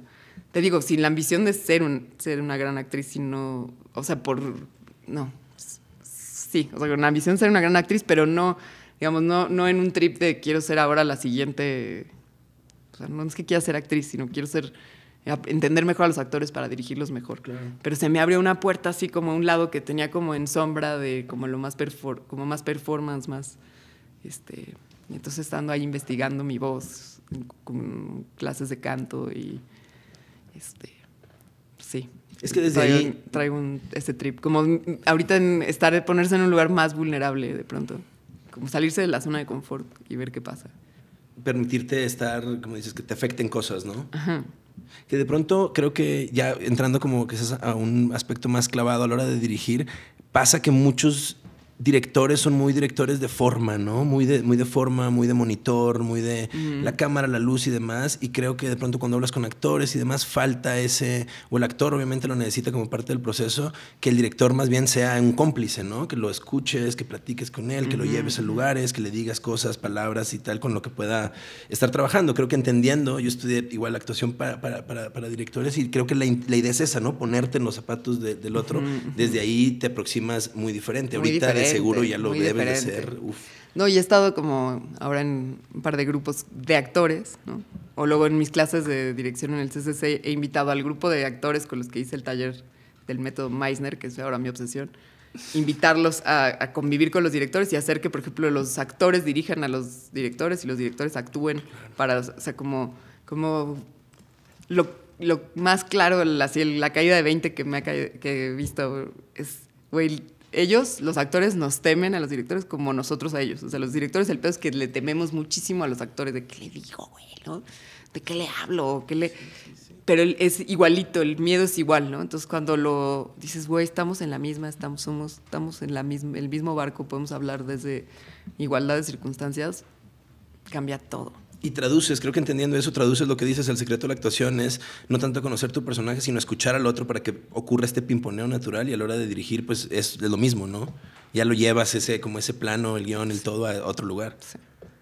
sí. como aprender a escuchar realmente, o sea, como hacer ese esfuerzo, ¿no? ¿Sientes que, es cambiado, que esto ya cambia radicalmente tu forma, tu craft como directora? Puede ser.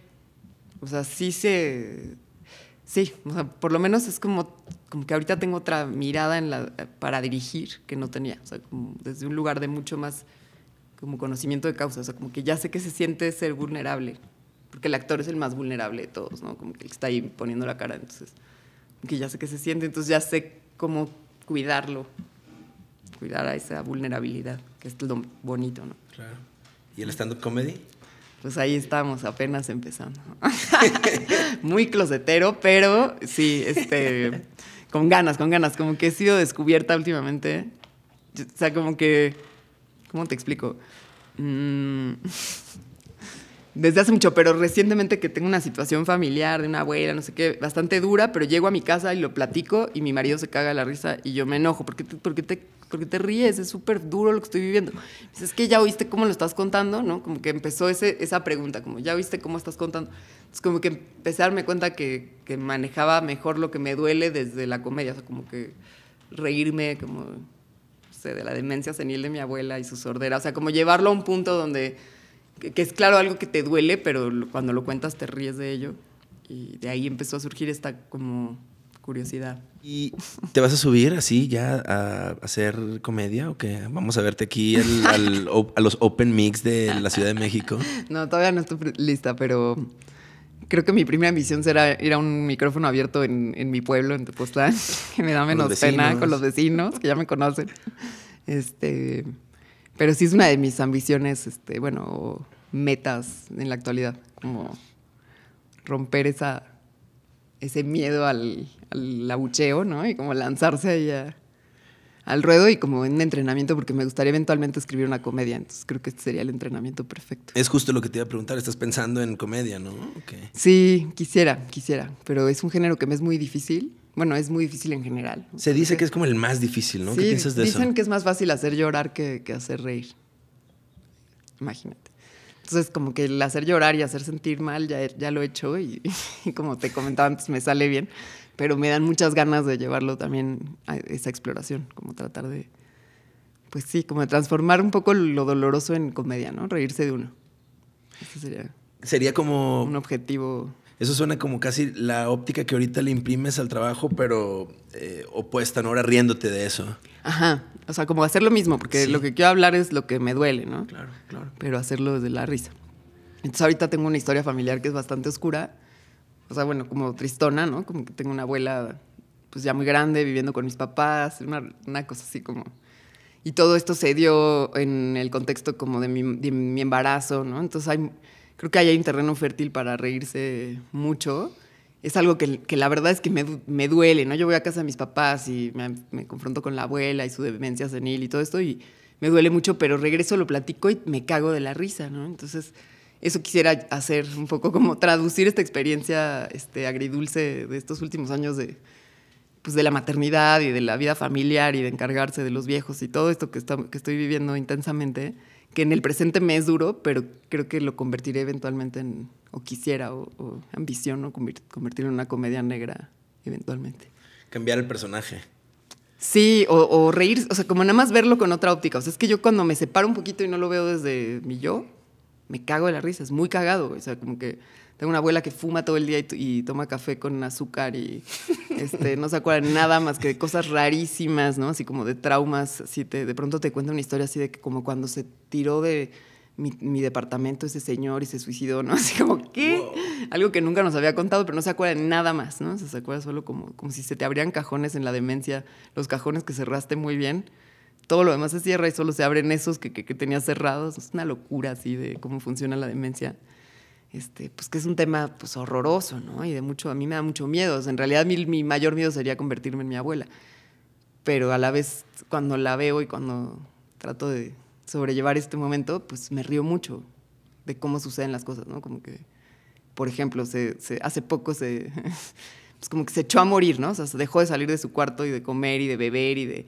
Y entonces ya, pues yo hasta fui con mi hija a despedirme de la abuela, tal, la me acerqué a su cama y me regañó porque la había espantado, tal, pero bueno, pues ya, este, junta familiar, nos estamos acercando al momento de... y a lo, me fui de ahí y mi mamá me manda una foto así dos horas después, ya salió y está fumando en la terraza, ¿no? O sea, como que, ¿cuál es Playing Death? O sea, está más viva que nada, ¿no? O sea, como que tenemos todas estas escenas que, que creo que conformarían un universo muy, pues, oscuro, ¿no? O sea, es como este, esta familia esperando que se muera la abuela, ¿no? La abuela, la abuela amarga, que es como un personaje así como, como la abuela de, ¿cómo se llama esta serie? De la mafia, de, este, de los sopranos, ¿no? Es una abuela así amarga, pero es la, la matriarca, ya sabes. es como, ese es el personaje, ¿no? Y que siempre trae los dientes al revés, o sea, eso, como la locura que es eso, este, desde una perspectiva como de risa, ¿no? Suena a una gran serie de televisión. Exacto. No, gran, pero gran, gran, gran. Sería así, eventualmente como lograrse reír así de sí mismo y de sus circunstancias. ¿no? Oye, que te escucho y me encanta porque te, como que el personaje que te manejas es más serio, ¿no? Yo te, yo te veo y de pronto te leo y es como más serio, ¿no? Porque at home, ¿no? Sí, sí, sí, sí, cine autor. O sea, como que me ha hecho un, personaje súper serio y entonces este descubrimiento de mí misma de, de lo pues de la risa ha sido bastante positivo para mí y a ver a, qué, a dónde nos lleva, ¿no? A qué puerto. ¿Cómo, cómo, llegaste a ese personaje? ¿Decidiste, cante, hizo? ¿Nomás dijiste mm. ya? No, o sea, lo empecé a ver. Lo empecé a ver. O sea, empecé a ver que al contar esto, como toda esta tragedia que me estaba ocurriendo, cuando la contaba, mis amigos y mi marido así se cagaban de la risa. Y yo primero me enojaba, así estoy contando algo muy serio, o sea, es neta, güey, o sea, la abuela es horrible, ¿no? y, este, y de ahí empecé como a darme cuenta de que, que, de pronto estaba traduciendo ya lo que me pasaba en comedia de manera como muy directa. Entonces ahí, ahí empezó la exploración, ¿no? Luego, hace un tiempo, el año pasado me ofrecieron a dirigir una comedia por encargo, que nunca me había sucedido algo así. Pero era una comedia, ¿no? Y yo les dije a la productora que me invitaba y que teníamos que ir a pichar con, con los, de los dineros. Dije, pero me tienen que conocer, porque si solo ven mis películas van a pensar que soy súper seria, güey, ¿no? Entonces fui a una junta y, y, pues nada, como que hice muchos chistes. Era una película que se reía mucho del matrimonio y, y les hice muchos chistes al respecto y me, me quedé con el proyecto. Al final no se hizo y es una larga historia y creo que me salvé. Este, pero no sé, como que ahí, está como que el gusanito y, el, y las ganas.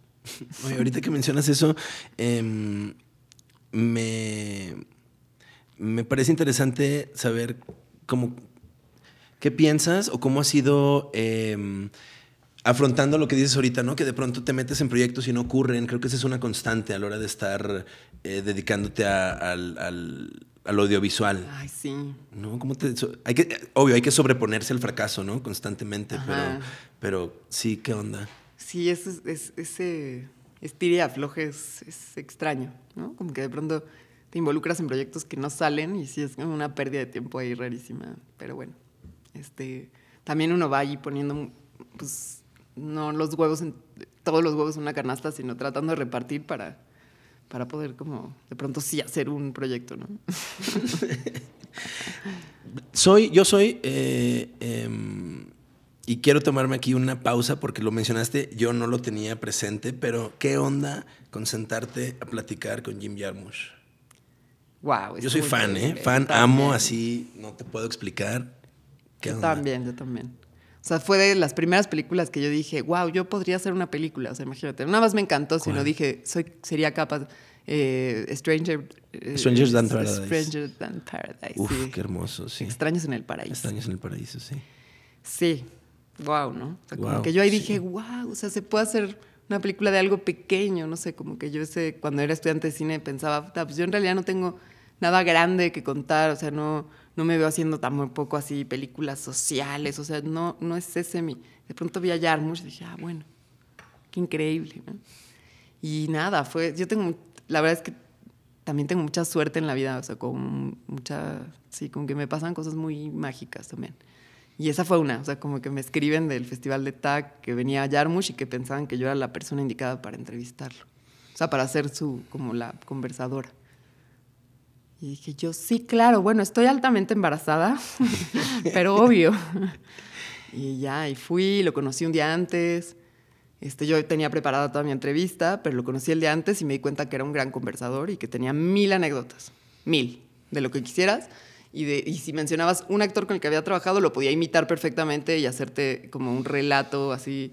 Entonces dije, ah, bueno, me relajé con mi entrevista. Este, luego llegamos al backstage, así de que ya lo están, ya sabes, y con ustedes, Jim Jarmusch, ¿no? Y estamos atrás, tras bambalinas, y ahí se voltea y me dice, tienes que hacer caber, o sea, me tienes que preguntar sobre mis tres máximas. Y con ustedes Jim Jarmusch, ¿no? Así, y entramos, y yo sé, ok, ¿cómo le pregunto de manera...? Bueno, total que en la conversación llegamos a ello, y fue cuando habló de la diletancia, habló de la repetición, como la repetición como la música, como repetir, insistir, ¿no? Como, como tener una idea y, y repetirla. ¿no? Y habló de nunca dejar de ser amateurs, porque en la palabra amateur está amor, y es amar tu, tu oficio. Y a la hora que te profesionalizas, ¿no? pierdes ese amor y por lo tanto esa pasión que le imprimes cuando yo decía, este güey se cree amateur, ¿no? O sea, Jim Jarmusch cree que es amateur, wow. Entonces me pareció súper inspirador. Y luego eh, usó mucho la metáfora, claro, al estar hablando con una mujer embarazada, entonces eh, trasladaba el hacer una película como al, como al proceso de tener un hijo. Y, y no sé, hablaba como... Eh, como la primera parte como la, de la como decía, este, que el rodaje para él era el acto sexual, ¿no? Con más gente, ¿no? luego la edición, la gestación. Eh, y luego ya, y luego así como, y ya, lo das a luz y listo, a la universidad. Y yo pensaba, bueno, yo voy a dar a luz a esta criatura y no va a ser tan rápido, ¿no? este, pero bueno, como, este, decía cosas muy, muy lindas, güey. Sí, un tipazo. La verdad fue como conocer a uno de mis héroes estuvo muy cabrón. Además de las tres máximas, ¿con qué más te quedaste? Yarmush tiene una frase que, que, me encanta que es Don't let the fuckers get you, ¿sabes? Que creo que de eso va el mundo, de eso va la forma en la que somos educados, de eso va ir a la escuela, de eso va ver la televisión, ¿no? De eso va todo, como Don't let the fuckers get you. Es decir, a la chingada tú eres tú y tienes que confiar en eso y en tus sentidos antes que otra cosa, ¿no? Sí, mucho eso, como de la independencia. También me decía que produjera mis propias películas, que será como su secreto para mantenerse independiente en una industria como Hollywood, ¿no? Como mantenerse como el productor. O sea, lograr siempre ese deal, que no es fácil. Este.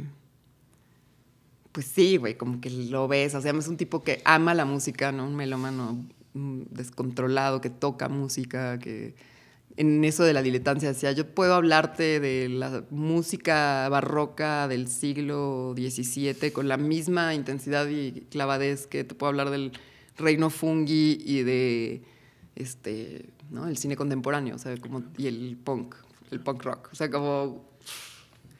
Y ves sus películas y dices, claro, o sea, pronto esa la de los vampiros, este, Only Lovers Stay Alive, como esta idea de que la gente más genial es porque son vampiros y llevan cientos de años viviendo y perfeccionando su, su craft, ¿no?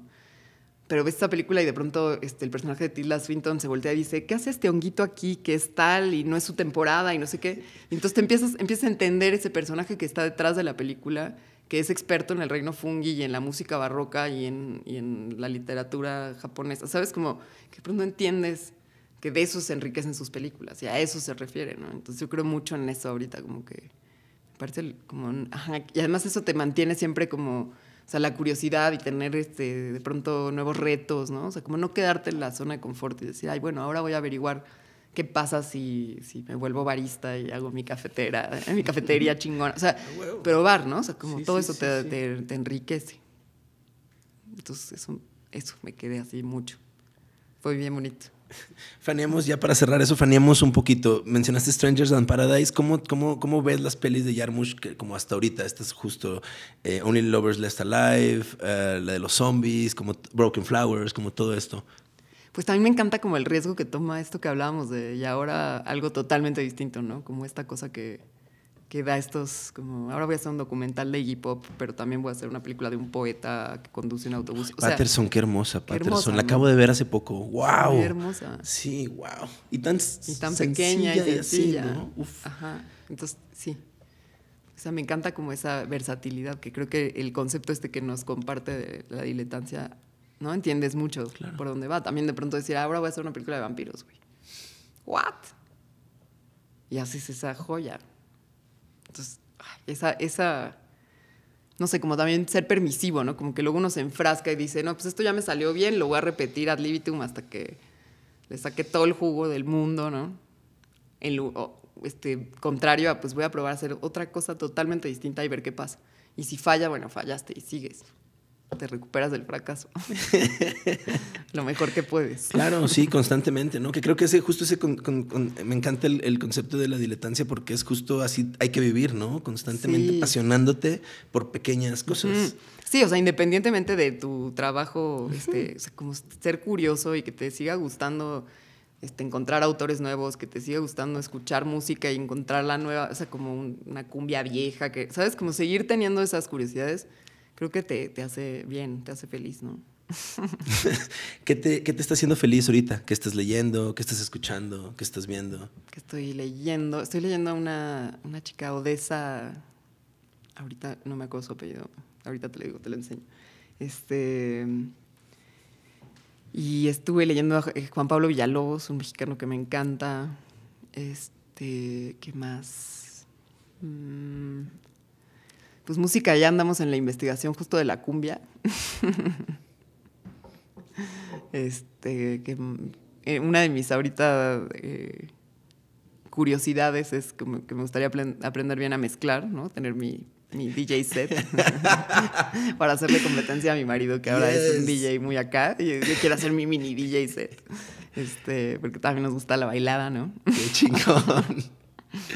Pues eso, ¿qué más? Este, no sé. ¿Qué estás viendo? ¿Has visto algo, alguna película, algo últimamente? ¿Hay algo recurrente que, Ay, vi que regreses a Vi ver? Parasite, que me pareció una joya descontrolada, o sea, como... Sí, es la, como la, última, la película en la que estoy obsesionada ahorita. ¿Por qué? porque por cómo habla de la di- diferencia de clases, que es algo, uno de los temas que me interesa también mucho ahondar de manera inteligente, o sea, como elegante, ¿no? Mm, Y cómo habla de eso y cómo hace una película que a la mitad se abre una puerta y es como si abrieras la puerta a otra película con otro género de algo que no te veías venir, ¿no? O sea, como me pareció de una maestría llegar a eso, como cambiar de género dentro de la misma película Sí, sí.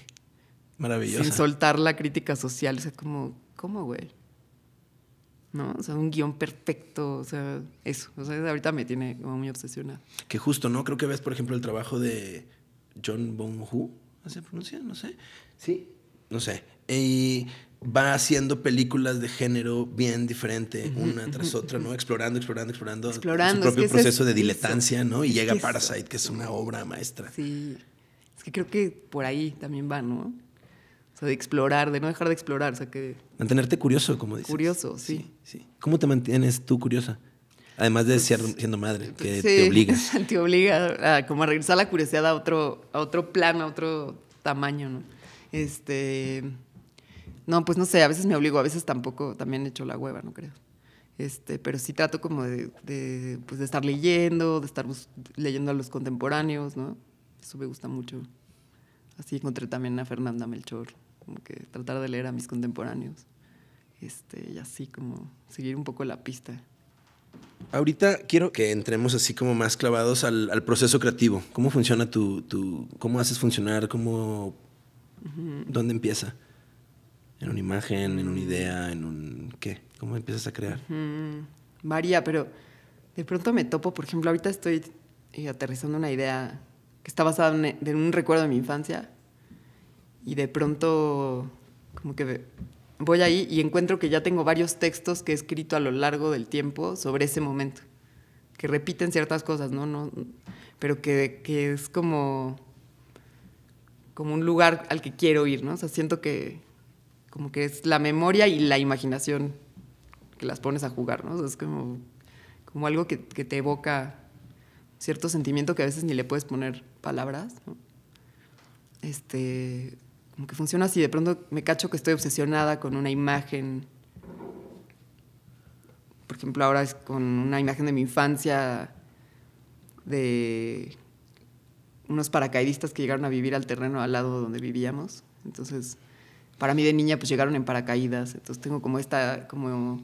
Pero en realidad era una ciudad de cartón que se armó al lado del, de nuestro terreno, ¿no? en un lugar rural en México. Y, y como que tengo muchas ganas de explorar ese universo y, y de pronto ent entiendo que también va de lo que hablábamos ahorita, como este de las clases, ¿no? Como de cómo hablar de las clases.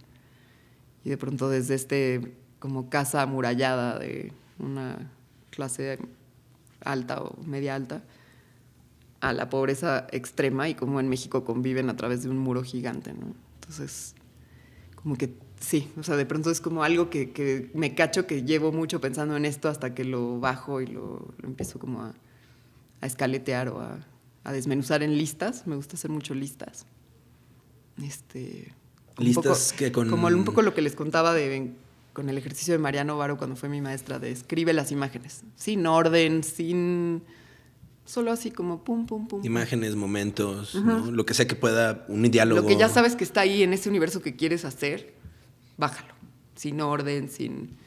Entonces, digo, y ese también es un ejercicio que les, les hago a mis alumnos, les pido a mis alumnos, que eso, como que te, te, olvides de que va a ser una secuencia, una película, o sea, es nada más como tienes estas imágenes, pum, pum, y entonces las empiezas a enlistar.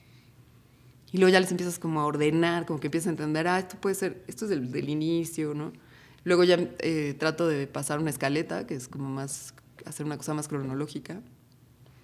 Pero me he dado cuenta ahorita que estoy trabajando con tramas, este, con distintas tramas, entonces que tengo que escribir la cronología de cada una para luego entremezclarlas y eso es más difícil. Antes siempre había trabajado con cosas más pequeñas, así de una pareja de adolescentes, una, una adolescente sola, una pareja, o sea, como que siempre dos, dos, y de pronto ahorita es una ambición de tener por lo menos tres personajes constantemente, este, como ir creciendo. Es que también creo que, que el cine tiene, es como hablar, ¿no? Es un lenguaje.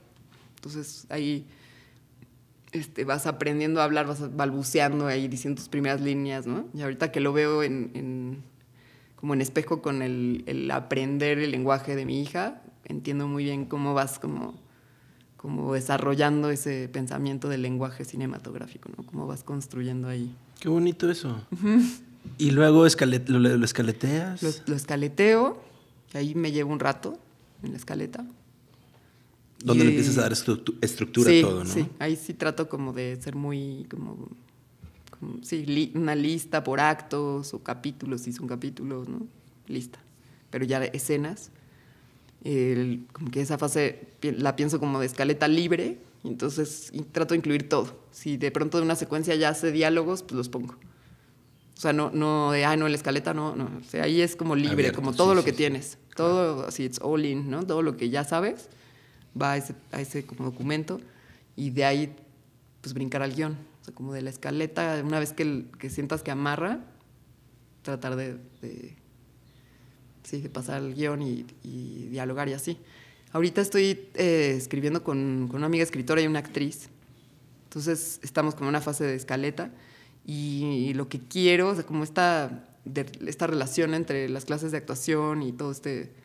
O sea, lo que mi sueño ahorita es, como ya tengo a las dos actrices que me gustaría que, que interpreten los papeles, una vez que pase de la escaleta al guion, me gustaría empezar a hacer sesiones de improvisación con ellas, porque además una es una niña, entonces quisiera como, ¿no? Como que los niños son geniales, güey, o sea, no puedes escribir lo que dicen los niños, güey. Entonces, como, como pasar a una fase de, improvisación intermedia, o sea, como que esa te ayude a, la a los diálogos del guion.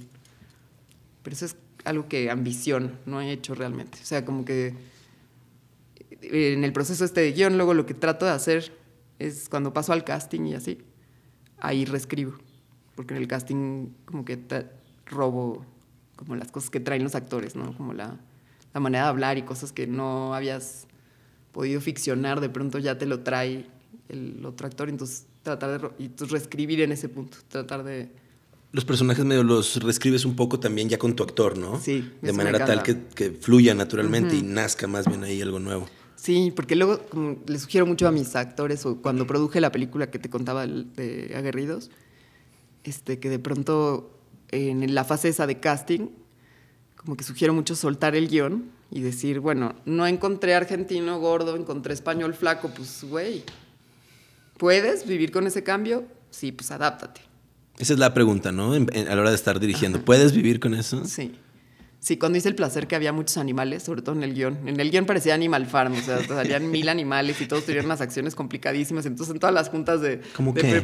Como había, por ejemplo, un gallo que atacaba a la protagonista, el gallo le picoteaba las, este, las pantorrillas cada vez que entraba por los huevos.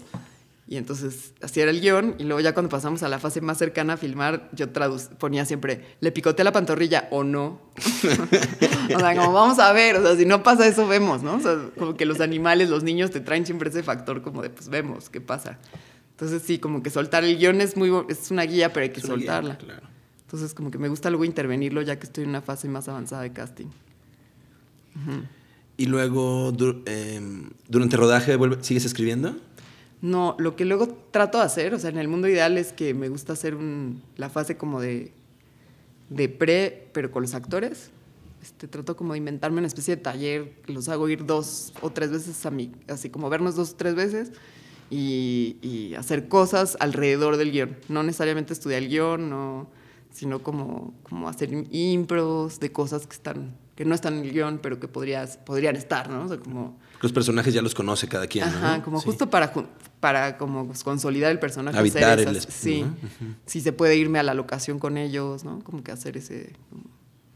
darles esa como vidita.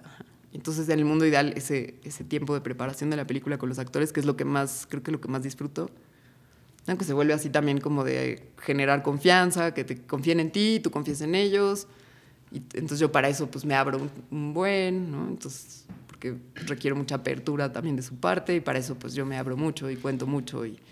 Que eso es todo, ¿no? A la hora de conectar con el actor, el que confíes, ¿cómo se llama esto de cuando te dejas caer así eh, sin, sin ver, ¿no? Esa confianza la tienes que tener, la tienen que tener ellos en ti, tú en ellos. Entonces es como, este tallercito se trata de generar esa confianza. Entonces ya te vas a filmar con esa confianza y puedes filmar lo que sea. ¿Siempre has tenido la. ¿Siempre has ensayado antes? ¿Siempre has tenido tus actores disponibles para ensayar en las pelis que has pues hecho? Pues he tratado, por lo menos de maneras medio rudimentarias. O cuando estaba en la escuela me acuerdo que era así de, ah, toca trabajo de mesa con los actores. Puta, ¿qué hago, güey, no? y como no sabía qué hacer, pues así de, ¿por qué no nos vamos a tomar unas chelas, no? como para romper el hielo. Como que intuitivamente decía, pues se trata de, de romper el hielo, ¿no? Y ahora como que he estado haciendo más un método de ese momento de, de prego, tratando de construir como un método de de tallerear, de conocerse, de hacer el personaje, de, ¿no? Como de generar, por ejemplo, vínculos entre los personajes, que eso también es bien cabrón, ¿no? Como que este güey va a ser de su papá, y, pero no se conocen, ¿no? Pues entonces en la pre tienes que generar ese vínculo, inventarte actividades que lo que refuercen ese vínculo, ¿no? Que hagan como que les hagan como un anecdotario para que les creas que son padre e hijo, ¿no? Entonces de pronto es así, no sé, inventarte algo como vamos a que no sé, este es un ejemplo que tomé de Fernando Emke, que fue uno de mis mentores y productores de mis pelis, que se llevaba luego al actor con la que iba a ser de su mamá a que le enseñara a manejar, como a CU, y ese era su taller ese día. Y ya, ¿no? Pero eso hacía un vínculo. Entonces, este, como inventarse eh, estrategias para generar vínculos, los vínculos de ficción. Eso es como lo que hago.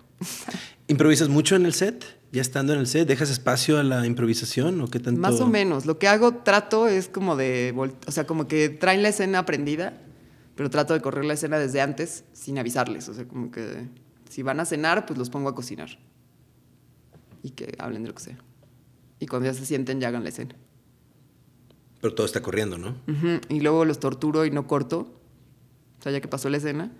Y los dejo como en ese feeling de la escena, pero le, recogiendo la mesa por decirte. Es como alargar las situaciones. Y luego lo que he entendido es que a la hora de editar a veces usas pues ese colita del final o ese del inicio y no la escena que escribiste. Pero la escena que escribiste te ayudó para llegar a ese estado de ánimo del final que sí dejaste en la película. Un poco así. Tratar de hacer como Y es luego difícil para algunos actores, ¿no? Porque te dicen, ya, corte, ¿no? ya acabé, ya dije mi línea, ¿no? O sea, a veces les caga como que los dejes ahí, este, perdón por mi inglés, pero como linger, ¿no? Así como que los dejas ahí flotando en ese estado de ánimo medio incómodo que generó la escena, pero luego eso es más valioso que la escena misma. Como que esa es un poco la búsqueda que he estado emprendiendo. En el placer es mío, es mío hay mucho eso. Lo que se quedó en la edición son momentos que a veces no estaban guionizados, pero que se generaron a partir del guion.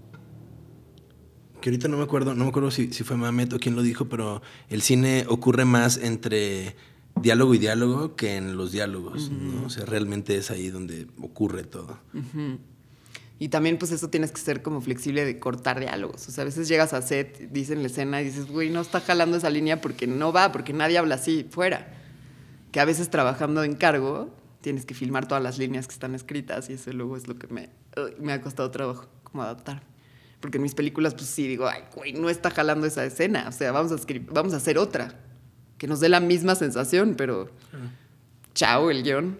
A ver, así en El placer es mío había una escena de una pelea que era muy importante porque luego la reconciliación era muy importante. Y ya habíamos filmado esas dos y me habló el editor, que es Gibran Aswad, que es brillante. Yo todavía en el, en el set. Me dijo, güey, la escena de la pelea es horrible. Quedó horrible, o sea, no la voy a usar, es de otro tono, parece de otra peli. Tienes que pensar otra cosa, porque la reconciliación está buena. O sea, era algo que necesitabas hacer pero como lo hiciste, no está bueno, ¿no? Está fuera de tono. Porque esa es otra, que, otra cosa que me robo de Fernando Emke, de que, él hablaba mucho de que el director es el guardián del tono. ¿no? Eres el único realmente que sabe qué tono tiene tu película. Y el tono es súper difícil de grasp, así como de, explicar. ¿Cuándo sabes? ¿Cuándo, cuándo llega el tono? Pues yo lo que les digo a mis alumnos es que la única manera es como escuchar y pensar, ¿le creí o no le creí? Nada más. O sea, no hay más. O sea, es como, no le creo, güey. pero es como, como un radarcito, es como que tienes que estar... Sí, o como de, uy, no. O sea, a mí cuando se salen de tono los actores me da como, uh, así cuando sé que no, así cuando me hace como... Y por ejemplo, trabajando con Flor Eduarda Gurrola, que me dio el mejor tip de dirección, me dijo, güey, a mí, háblame al chile. A mí dime, no es no y sí es sí. O sea, si no, si te hice otro tono, me lo dices de una. Porque en el set le empecé como a, pues como a mentir por ser cortés, ¿no? Así como, estuvo bien, vamos a hacer otra, pero no. Y entonces ella me empezó a imitar de cuando mentía de que sí me había gustado. Y me dijo, güey, dime la neta, directo. Y eso me ha ayudado mucho, como que ser muy directo, aunque, o sea, de pronto es así corte, no. No, güey, no estamos haciendo muchachitas, o sea, no es eso, como que hay una cosa del oído que a mí se me hace así de, no, tengo que cortar, no es así. Pero sí es como sutil. Que ya, bueno, empiezas el proceso, como dices, escribiéndolo, luego lo reescribes a la hora de filmar y luego llegas a la hora de editar. Como, como que creo que es ahí donde vuelves a escribir la película, sí, ¿no? Sí, como de ultimate. sí, sí, sí.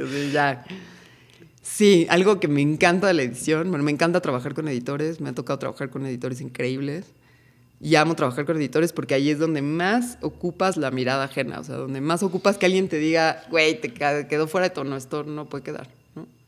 Porque a veces te falla ese este, intuición en el set y, dejas una este, escena fuera de tono. Este, en justo editando El placer es mío, me acuerdo que lo más cabrón, cuando empecé a editar con Gibran, así como el 20 era lo concreto del material. O sea, no hay más, pues. O sea, tú estás escribiendo y escribes una cosa y dice árbol y puede ser cualquier árbol, pero el material ya es el ficus, güey. No hay otro. Es el árbol que pusiste, o sea, es como súper concreto, ¿no? O sea, en, en, el guion todavía hay como posibilidad de que pueda tener los ojos verdes o cafés, o, ¿no? Ahí ya no. Es esta persona, es esta locación, es este coche, es, esta, es este tono. O sea, ya está. Es concreto. No puedes borrar, o sea, puedes quitar, pero, pero lo que está, está, ¿no? Lo concreto del material. Y con eso es la reescritura. Es como, yo luego lo traslado a cocinar, ¿no? Y lo del súper que decía hace rato, o sea, como que cocinar es, pues ya llegaste a tu casa y ¿qué, qué trajiste del mercado? ¿Qué sí trajiste? Puta, pues no, se me olvidó la mantequilla, bueno, pero hay aceite de oliva, ni modo, ¿no? Como que editar es así. Es como que ya llegas a la cocina y ya trajiste los ingredientes y con esto tienes que cocinar puedes ir a la tiendita, pero Pero en general es con esto que trajiste. Y con esto cocinas, ¿no? Con esto tan concreto. Que ahí, por ejemplo, radica la diferencia con la literatura para mí y el cine, ¿no? Que en la literatura hay como este espacio del el lector tiene su espacio imaginario, ¿no? Su, la muebla esa casa que tú mencionas en el libro. Pero en el cine la casa está mueblada, ¿no? El árbol es un ficus, no es el árbol que tú quieres de tu imagen, de tu, o sea, como que es lo concreto, ¿no? Como que el, cine se, se, vuelve, y ya ahí en la edición es más evidente, que es con lo que hay, que toca un poco resolver, ¿no? Que toca como cocinar. Muy bueno, pues no había tomate, pues ni pedo, ¿no? hacemos una boloñesa sin tomate, o sea, como que tienes que, que reaccionar a lo que sí tienes, lo que sí compraste en el mercado. Que ahorita mencionas la, la, intuición y lo hemos, lo hemos mencionado varias veces como, como piedra angular, creo que de, todo. Y ahorita que platicabas, por ejemplo, esta anécdota del final de, de ver llover y demás, eh, de alguna forma siempre has estado confiando en tu intuición, ¿no? en tus sentidos y demás. Esa, ¿De dónde sientes que venga esa, esa confianza o esa, no sé, mm. ¿sabes? Esa... Sí, esa confianza. Sí. Pues mira, digo, lo voy a llevar así como a un terreno medio de terapia, pero, o sea, mis padres, por ejemplo, mi papá es una persona súper eh, como inteligente y cuadrada y metódica y eficiente. Y mi mamá es una persona súper intuitiva, pero así, bruja, o sea, de que... Y creo que esa combinación, creo que la confianza me viene de mi madre instruyéndome a confiar en tu intuición, ¿no? O sea, como a escucharla. Pero a veces me falla. y bueno, ahorita que mencionas a, tu familia, una familia castinera, ¿no? O sea, cuando estabas mm, morrita había contacto con, el cine. Sí, sí, tengo, bueno, tenía una tía muy querida, Claudia Becker, que era la, la directora de casting y representante de actores, hija de Lonca Becker, que fue la representante de María Félix y todas estas celebridades, de Pedro Infante. Claro. Este, es una familia por elección, son austriacos judíos como mis abuelos, y cuando llegan a México se ayudan entre sí, este grupo de refugiados. Entonces, para cuando yo aparezco en escena, Claudia, eh, mi tía Claudia, pues es esta castinera súper importante, y también la persona más divertida y fuera de la caja de mi familia, ¿no? Mi familia, mis papás, mi núcleo es bastante conservador, o sea, no conservador, pero como a mí me tenían súper protegida y consentida y sobreprotegida. Y de pronto está el personaje, la tía Claudia, que hace castings y que te digo, como la persona más poco convencional que yo conozco, que yo he conocido. Y para mis papás me mandaban los veranos a trabajar en la castinera y ahí también como que conocía a todos los actores, a los directores. Claudia me trataba como la sobrina medio boba y entonces me sentaba en la recepción a hacer listas hasta que fui descubierta por Reza, que luego fue uno de mis maestros de actuación y el director de casting que ya mencioné antes, como que se dio cuenta como, ay, esta chavita no está tan mensa, ¿no? O sea, como, a ver, vente para acá. Entonces empecé a operar la cámara en los castings, empecé a dar réplica, empecé a dirigir los castings, todo eso, sí, antes de la escuela.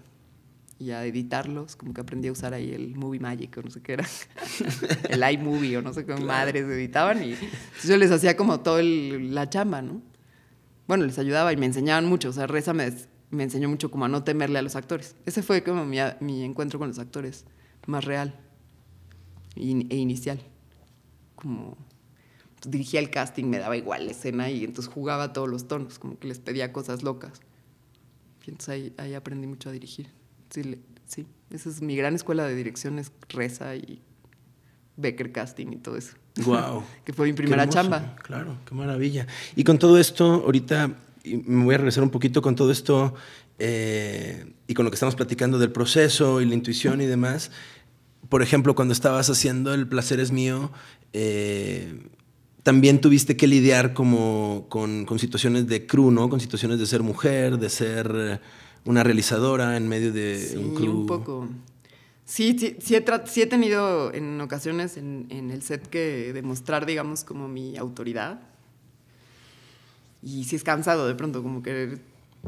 Digo, lo que pasa es que de pronto te afrontas con gente que tiene llamado 360 días al año, ¿no? que se la viven llamado, que son ¿no? la gente del set. El staff. El staff, los encargados de cámara, o sea, esta banda que pues tiene muchísimo más set que yo, sin duda, o sea, muchísimas más tablas, ¿no? Este, y de pronto llega esta chava y es la directora. Entonces como que te ningunean y te ponen a prueba y así. Este, sí, sí, de pronto tuve que, que ahí batallar para poner como, no sé, como decir, güey, yo sé lo que quiero y yo soy, así como me vende chavita y buena onda, también tengo mi carácter y grito y corro gente y, o sea, pum, ¿no? Pero sí, es, de pronto fue desgastante como tener que pasar de las seis semanas de rodaje dos en demostrar que sabía lo que quería. Y, pero cuando pasé eso, o hubo un momento que eché un par de gritos, que saqué unos elementos del set, así como de, este encargado de cámara se va, ¿no? Así como que me puse firme y se empezaron a dar cuenta que sabía perfectamente lo que quería y que sacaba en tres tomas la toma y que seguíamos y que, ¿sabes? Como que pues me gané el respeto de todo el crew y, y terminé así súper compa y súper patrona, me decían, este es su set, patrona. Pero sí, después de como una peleita, o sea, como que sí, sí, sí, de pronto hay que demostrar de más que es una hueva, pero, pero bueno, luego vas haciendo equipo de gente que ya te conoce y que te respeta y listo. Que también eh, así es la industria, ¿no? ¿Cómo has visto ese, ese, eso que te tocó vivir en ese microcosmos de eh, la película, ¿no? En tu, en tu universo, ¿cómo, ¿cómo me puedes decir que te has enfrentado a eso en, a la hora de ir a los festivales o de hacer cine en México o de... Uh -huh. Pues te digo, por un lado sí, estás todo el tiempo como trata, o sea, como, como perdiendo mucho tiempo y energía en demostrar que sabes y puedes y tienes el oficio. Pero también la verdad es que he tenido mucha suerte, me ha ido muy bien, este, como que siempre me relaciono desde un lugar de igualdad con todo el mundo, o sea, con, con los hombres, ¿no? O sea, siempre desde muy chica, como que así me criaron, como que no se hizo hincapié en que es diferente porque eres niña, o sea, como que no, no entendía esa diferencia. Entonces creo que mi misma aproximación al tema es como muy frontal de que no hay diferencia, güey, o sea, o sea no, no, en ningún momento yo siento que soy menos que tú, por lo tanto me comporto como tal y rápido supero, superas ese como prejuicio. Es en mi experiencia lo que me ha pasado. Pero bueno, sí hay muchísimas injusticias y está todo mal también. O sea, ¿no? Sí, sí, de pronto es como, como las mujeres cobramos menos. O sea, sí hay unas cosas que, güey, tienen que cambiar. Y cambiará, pero yo confío. Hay que seguir al final creando y haciendo las películas, ¿no? Encontrando sí. la manera de, de, hacerlas. Sí, por ejemplo, en la experiencia de ver yo, del placer es mío, que fue difícil como pon, pon, posicionarme como la directora ante un crew de muchos hombres y con y más grandes que yo y un crew muy grande para mi experiencia, este, al final fue como, bueno, la cosa es seguir. O sea, como, güey, no me van a parar, que crean que no sé, pues yo sé. Yo sé lo que quiero, lo voy a hacer y ya. Y al hacerlo, como que impones que, ¿sabes? Como que no, no tienes que hacer mayor esfuerzo más que seguir. O sea, como que, que no te apañe, que creen que porque es mujer no va a poder. No, sí puedo. Y en el momento que lo haces y dicen, ah, pues sí sabe, sí puede. Entonces ya te, o sea, ¿sabes? Como es más como como este, quitártelo encima al tú no, no, no, no dudar, ¿no? O sea, como que no te hagan dudar, que como dice Jarmusch así, don't get the fuckers. No, don't let the fuckers get you. Sí, como que no lo dejes, no lo dejes pasar. Es como, ah, este güey duda que puedo, pff, me la pela, o sea. Oh, wow. Y esa actitud es inmediata, o sea, rompe, o sea, es como, órale. No, pues esta chava, sí me acuerdo que en el, en el rodaje se oía así como, no, pues sí tiene carácter, ¿no? La, la señorita. Sí tiene su carácter, la señorita directora, ¿no? Así como que se oía eso en las primeras semanas. Y, y, luego, sobre todo, era como, pues sí sabe lo que quiere. Y, o sea, yo no hago muchas tomas, no me tardo eternidades, o sea, soy como muy precisa a veces. ¿no? Cuando puedo. Y, y, de pronto, y si no lo estoy logrando, es como vamos a cambiar de escena. O sea, como no me enfrasco en hacer 80 tomas, sino prefiero como dejar, ok, esto no está saliendo por algo, vamos a analizar qué es, continuemos, ¿no? Como que trato de... Lo mismo que en el guion, lo que más recomiendo es cuando no sabes qué sigue, sigue. O sea, como avanza un poco más, aunque, ay, aquí no sé bien qué pasa. ¿No? En ese periodo de escaleta que te decía, escaleta libre, es un momento donde no, que no te dejes trabar si esto no está funcionando, continúa, ¿no? Platícame un poquito más de, de esta experiencia del, de, de, del cine zapatista. Ay, del Festival de Cine Zapatista, el segundo festival de cine zapatista, increíble. Este, pues te digo, fuimos invitados al Caracol con una car dos cartas del sub, larguísimas, la invitación más larga que he recibido en mi vida, siete páginas, una disertación sobre el cine, te lo juro, wow. a partir de la pregunta de la niña de si las películas lloran, cosas como estamos en noviembre del 2019 que si, si, miras este ¿cómo se llama esta peli futurista lo máximo? Blade Runner. Blade Runner, la fecha que está sucediendo es ahora. Claro. Entonces era como, para que veas que ninguna, no hay fecha que no se cumpla, ¿no? No hay este, plazo, que, plazo no. que no se cumpla ni fecha que no llegue. Estamos en noviembre del 2019, el futuro es ahora, ¿no?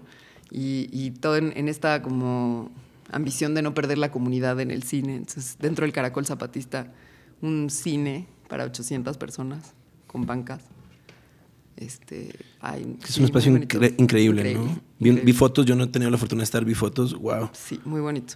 Además, como abrir el caracol zapatista para, para dejar a los invitados entrar, ¿no? Obviamente, porque trae una visibilidad y lo que. Pero muy bonito. O sea. ¿Diste un taller? Di un taller junto con Cassandra Changuerotti para los actores, los tercios, que son los jóvenes zapatistas que tienen interés en el cine. ¿No? Con, o sea, éramos muchos dando clases con el interés de compartirles el lenguaje para que ellos hagan sus propias pelis, ¿no? Que es bien bonito. ¿Cómo fue trabajar con los niños? Pues eran estos jóvenes, este, con casi todos eh, enmascarados, ¿no? Casi todos tapados. Este, wow. Sí, súper fuerte, porque parte de lo que les enseñaba Cassandra yo era como esta de, de, clavar la mirada en el otro, ¿no? Y de pronto es una mirada este, enmarcada por un pasamontañas y una mirada que luego no se sostiene en, o sea, en, por ejemplo, que les costaba mucho sostenerme a mí la mirada, ¿no? Como que, ay, no, no, no, ay, qué oso. O sea, como esa cosa y tratar como de, no, no, veme, no hay pedo, somos igualitos. Es bueno, interesante, muy bonito. Que al final, que te, ahorita platicándolo y recordándolo, ¿qué, te, qué, qué sientes que te dejó? Ay, mmm, bueno, fue así, algo un poco cursi, pero al terminar estas clases, de, el día de clases, salió un arco iris, ¿no? O sea, entonces era como, como, no sé, también vimos mucho que en el caracol hay mucha como apertura hacia la homosexualidad y el transvestismo. El, subcomandante en la noche que estuvimos presentes en Los Respetos, que fue una ceremonia donde él estuvo, bueno, una, eh, convocó a una compañeroe, como él la llamó, y era un, pues, un hombre vestido de mujer bailando en, un, en una junta zapatista. Este, entonces también como que están en busca de como una apertura para esos temas, me pareció eso muy, muy sorprendente y significativo. Este, y pues nada, ¿no? Como ver su, como, pues su proyecto, ¿no? Las comunidades, finalmente sí hay muchas, sí hay varios caracoles, al que nos invitaron fue al más eh, público y puta, fue increíble, la verdad. Qué chingón. Sí. Qué maravilla. De, de, es algo que es una frase que, me, que, que viene de, de, de, ver llover y que me encanta y que creo que dice muchas cosas.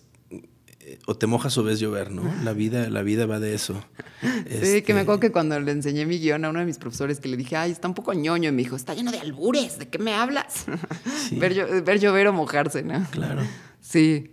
Este, pues yo transito entre las dos, ¿no? Como que luego me quedo así desde mi trinchera y veo llover y no hago nada y luego me da culpa y a veces pues, me mojo, ¿no? Pero, pero ahí transito entre las dos, como siento que en ese corto de ver llover yo me siento los dos personajes, o sea, como que soy los dos. O sea, todos somos los todos, dos, ¿no? Sí, sí, lo mismo pasa en El placer es mío, creo. Que los dos somos los dos, los dos somos culpables de donde nos metimos. Todo eso, o sea, como, no culpables, pero los dos lo llevamos ahí, no es solo uno, una víctima y un victimario algo así. Wow, me encanta. Te agradezco mucho la plática, la, tu trabajo, tu obra, tu inspiración, eh, todo lo que nos compartiste. Eh, hay que repetir, ¿no? Hay, que, ah, hay que, hacer una segunda parte. Muchas, muchas gracias. Y sí, qué chingón, eres una chingona. Ay, igualmente, gracias. Gracias.